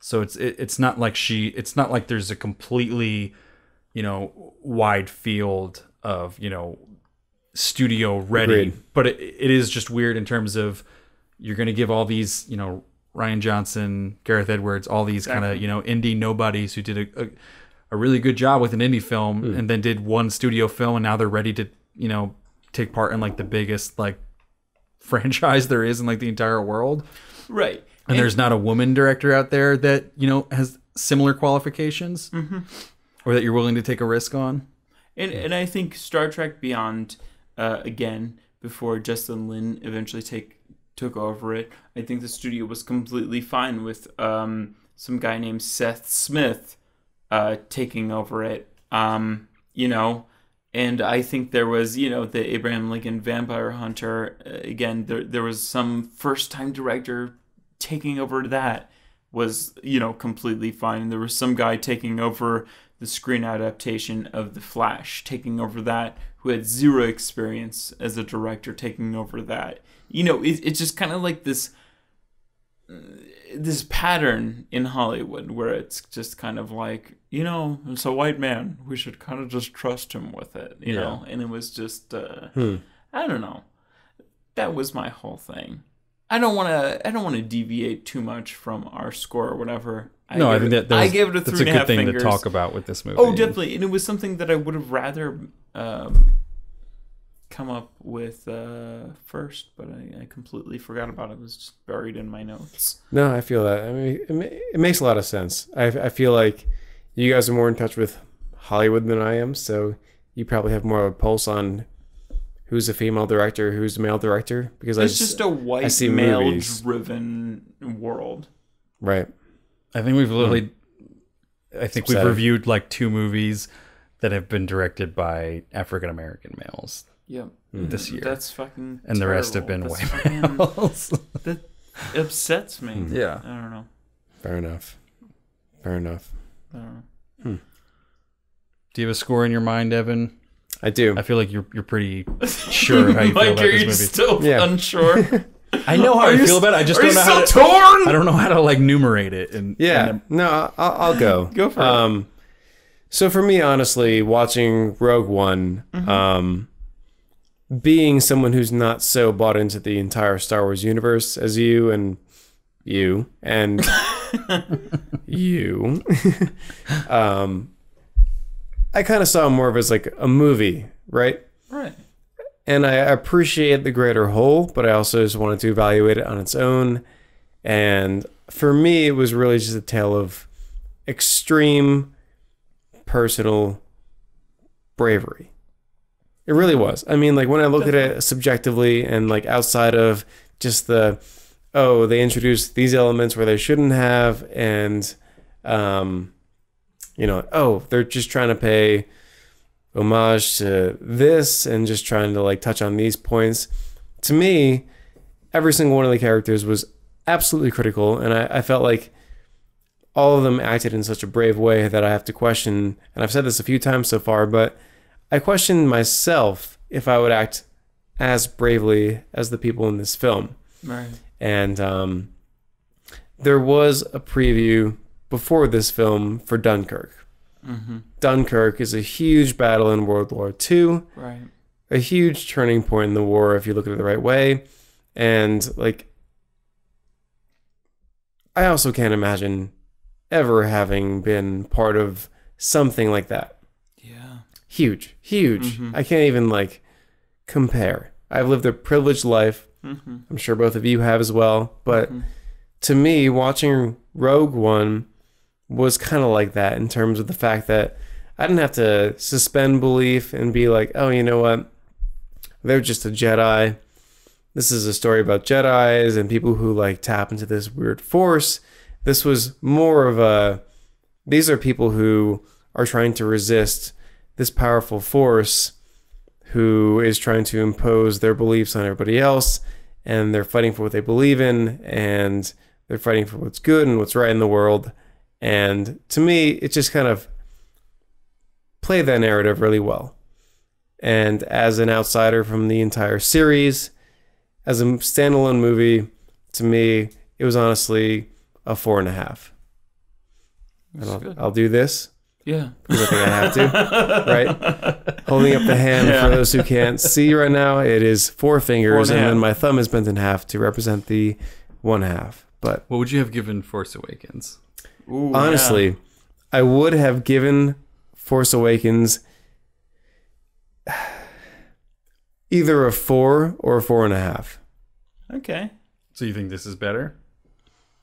Or are they Personally, very close. I've been battling myself for a long time about which one is better because I know they're on different levels. I mean, the fourth, the Force Awakens is a continuation of the story, Right. and this is just a sidebar from what the story was. But as someone who has never bought into the original story and who was never really like, as a child, really brought up on that, in terms of theatrical value, I see them as pretty equivalent. Mhm. I really, really enjoyed The Force Awakens. I loved it. Um, it I made me care. being really excited that you liked The Force Awakens, knowing how much you did not like Star Wars. It made me, it made me care like, about "Yes, Star. Wars. we in such a- him. in such a different way. And I think it has to do with a lot of the era in which these films are being made, which you guys talked about the um, Uncanny Valley with, you know, representations of humans in what is it called? CGI or CGI, Yeah. right. So there's that aspect that we're still trying to combat. But I feel like episode one through three had a weird area in movie making where they tried to mesh both of those things seamlessly Mm-hmm. and it just didn't work. I mean, right. everyone saw through it, everyone had the same criticisms. It wasn't great. Um, episodes four through six, from what I understand, you know, they don't have the great tech they don't have great technology. It really is not fantastic, but everyone accepted it for what it was. And now I feel like we're finally reaching a point where films can occur, they can use CGI. It's good for the most part, except for maybe some of these uncanny valley experiences, but these are the films I want to see. Right. Okay. And they're what they're they are what really is drawing me as someone who has not been bought into the Star Wars mentality into the entire series. Right. Yeah. And that's what I think is uh, when people like criticize The Force Awakens for like drawing too much on A New Hope. Like that's what I point to is like people like you who've seen A New Hope and didn't connect with it, but were able to connect with Force Awakens because again, if you didn't grow up on A New Hope, it's a hard movie to get into. Like It is, yeah. A lot of it is not that it's not a good movie, but a lot of it is nostalgic value kind of overweighing the fact that it just looks weird now and it- we can't really get into the mindset of like at the time it was like groundbreaking technology like george lucas really was like pushing the envelope in terms of like mm-hmm. what can we do with sci-fi Right. I at that appreciate that, too. and we can't you know even when i the first time i saw new hope i couldn't really get into it i just happened to be young enough where i didn't care what the movie looked like when i saw a new hope um and i know like taking my sisters to see like force awakens like i've shown them the original trilogy they were bored the entire time. You know, they were kind of, you know, on their phone texting or like, you know, running off to do stuff the entire time, but they really liked A Force Awakens. And that's what I think is the power of that movie is to kind of introduce Star Wars to a new generation. I think that's exactly what they were trying to do with that movie. And I think it succeeded. I would agree. But switching to this movie, um, I know I've criticized it a lot. I haven't really said a lot of positive things about this movie. I did really, No, really you've said a lot of. I did really, things, really yeah. like this movie. I when I came out of it, I had the feeling that I wanted to have seeing a Star Wars movie, Mm-hmm. and my ex- expectations were a little bit lower, knowing that it was going to be an anthology thing. Just knowing that, not that they threw it together, but they weren't going to take the care that they took with Force Awakens and other movies that were within the Star Wars saga. I still knew that they were going to, you know, obviously care for it. Um, I think a lot of the weak parts that we've criticized and of the movie take place in the first half of it. I think the last half, again, minus the CGI things that I, I can't really get over, I think it's pretty impeccable the last half. I don't have a lot of negative things. And even with characters that I've criticized, I think those characters are pretty Im- unimpeachable in the last half of the movie. You know, Bodhi, I think, shows uh, way better acting as Riz Ahmed or Riz Ahmed as Bodhi in the last half of the movie. I think Right. Donnie Yen is less comic relief and more of like a really inspiring character in the last half of the movie. I think his relationship with uh, uh what's his name? Wen Jiang is the actor. I can't remember the Boz Mohammed or something like that is the his friend, the, the guy with the the cool gun that like targets stormtroopers. His relationship with that character is uh, more uh, fleshed out in the last half of the movie. Right. Um, and I think uh, we we learned to care more about Jyn and Cassian in the last half of the movie. And I think it, it says a lot about this movie that we knew that everyone was going to die, and we still cared when each and every single one of them died. And Absolutely. it says a lot to like to not feel like the movie was spoiled for you knowing that they were going to die that we, it was still a really interesting and adrenaline pumping action climax sequence knowing that everyone important in the movie was still going to die and it was really cool to see a star wars movie where you're not expecting that in a star wars movie even if you knew the plot of this, a Star Wars movie, you know, the, the main character usually lives and good triumphs over evil because, again, it is so much good versus evil. And even if, you know, Qui Gon Jinn dies, you know, good is still going to keep going on. And yeah, I mean, good, the greater good goes on in this movie, but everyone that we've gotten to connect with dies in this movie. I think it's the first Star Wars movie that I've come close to, if not actually tearing up and crying in. And the other movies, it's not that they don't have emotion, but it's more Did like you visceral- cry during the Force Awakens?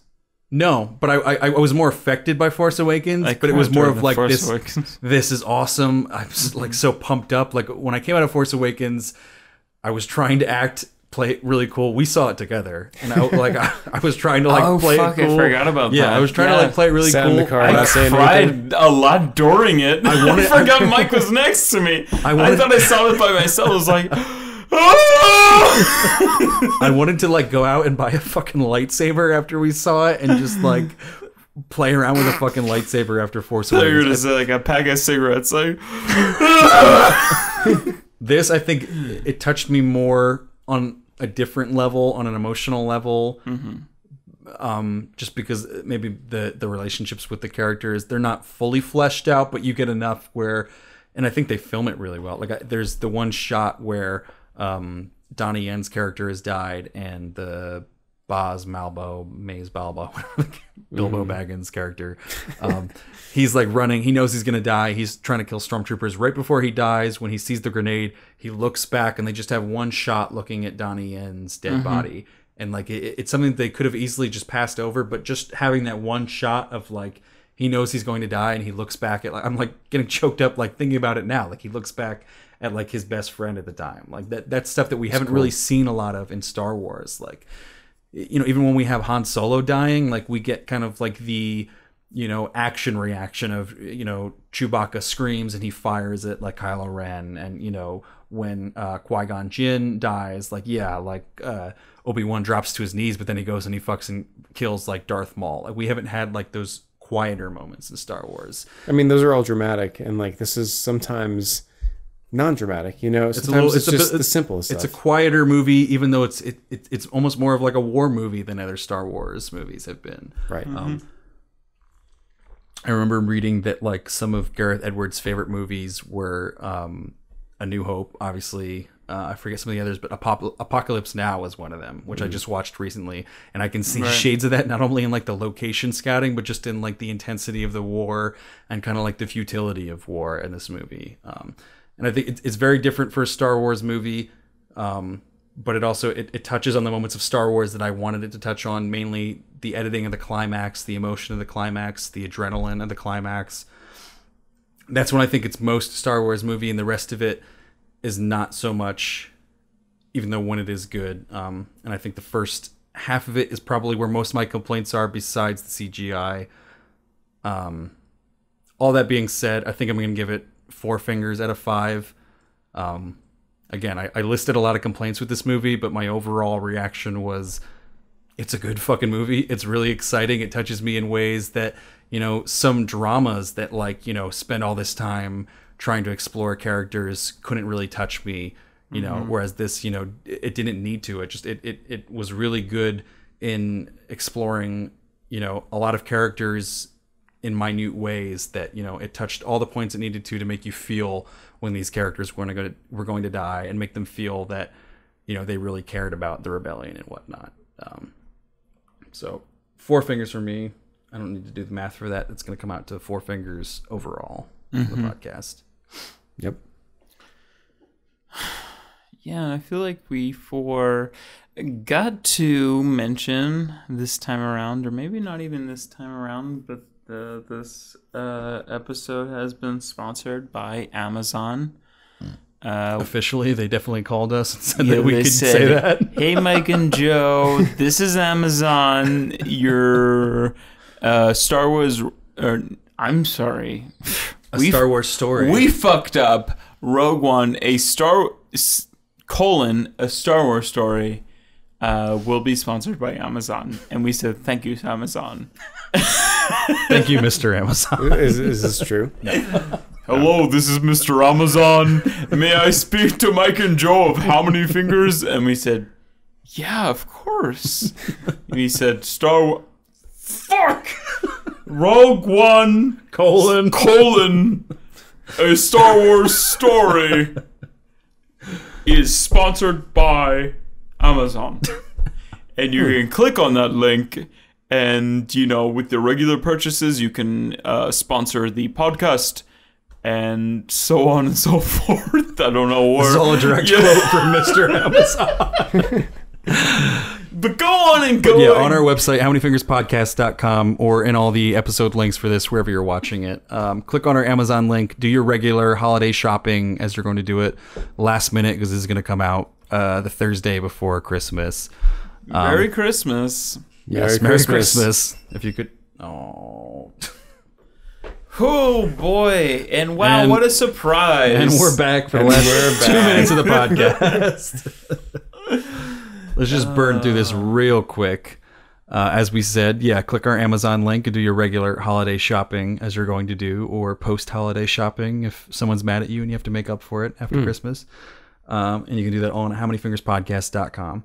Um, and new recently, uh, we're now an iTunes affiliate. Uh, so if you click our link to iTunes that we have on all of our episodes, anywhere, uh, on every post right. on howmanyfingerspodcast.com. Um, we also have a subscribe button on all of our SoundCloud page uh, posts. Um, anything you purchase in the next 24 hours through iTunes, after clicking that link, we'll get a little cut of that as well, similar to Amazon. So, again, if you're going to purchase something through iTunes already, just click our link first. It's a nice, easy way to support the podcast without having to go too far out of your way. I forgot to say, I mean, even during this podcast, I forgot to say that we were going to have a segment where we say what people bought through Amazon. Oh, do you have that up yet? So we will continue that Next in the episode. next episode. Stay tuned. So if you buy through our Amazon link, this, you know, we might just read your purchase on the next episode. Anal beads, please. Anal bleeds. Please. Anal bleeds. Oh, no. please. That makes it so much worse. Massage beads, okay? Yes, massage beads. Uh, be sure Massage to massage bleeds. please. Uh, be sure to sign up.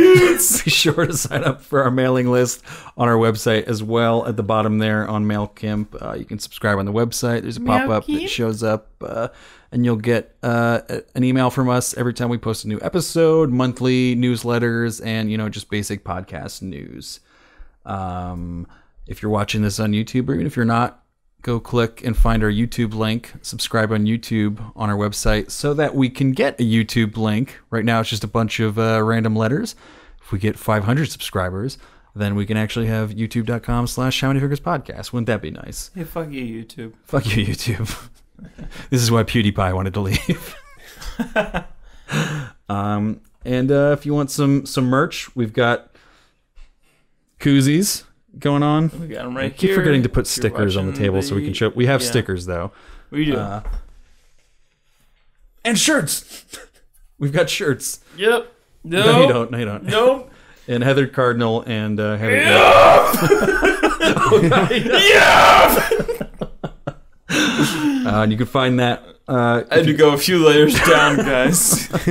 how many fingers podcast.bigcartel.com or if you go to our website how many fingers podcast.com and click the web store link there you can get there as well uh, and i think that's pretty much everything we have for this podcast uh, evan thank you so much again for coming on let's plug your links one more time yeah. uh, what do we got mtos music on twitter Accurate.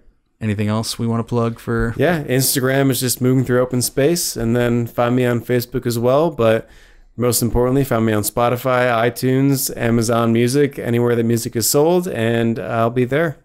definitely check him out. He's got a really cool brand of instrumental piano neoclassical. I don't know how exactly how you would describe Whatever you want to call it. Just find out for yourself. really it's great music to like study to or get work done to because there's no lyrics and it's just really cool emotional piano going on he does a really cool thing over there And so again, check that he, out He was the soundtrack to the film yeah that we made. So go and check that out. in development soundtrack on spotify Of show. for your ear holes and uh, with that For your we're gonna pussies. for your ear pussies we're gonna sign out again four fingers for rogue one a star wars story from how many fingers the podcast Yep. signing out for how many fingers the podcast i'm mike I'm Joe. And I'm Evan. And happy holidays Happy holidays. Have a fun Chris. How do your do your Christmas thing.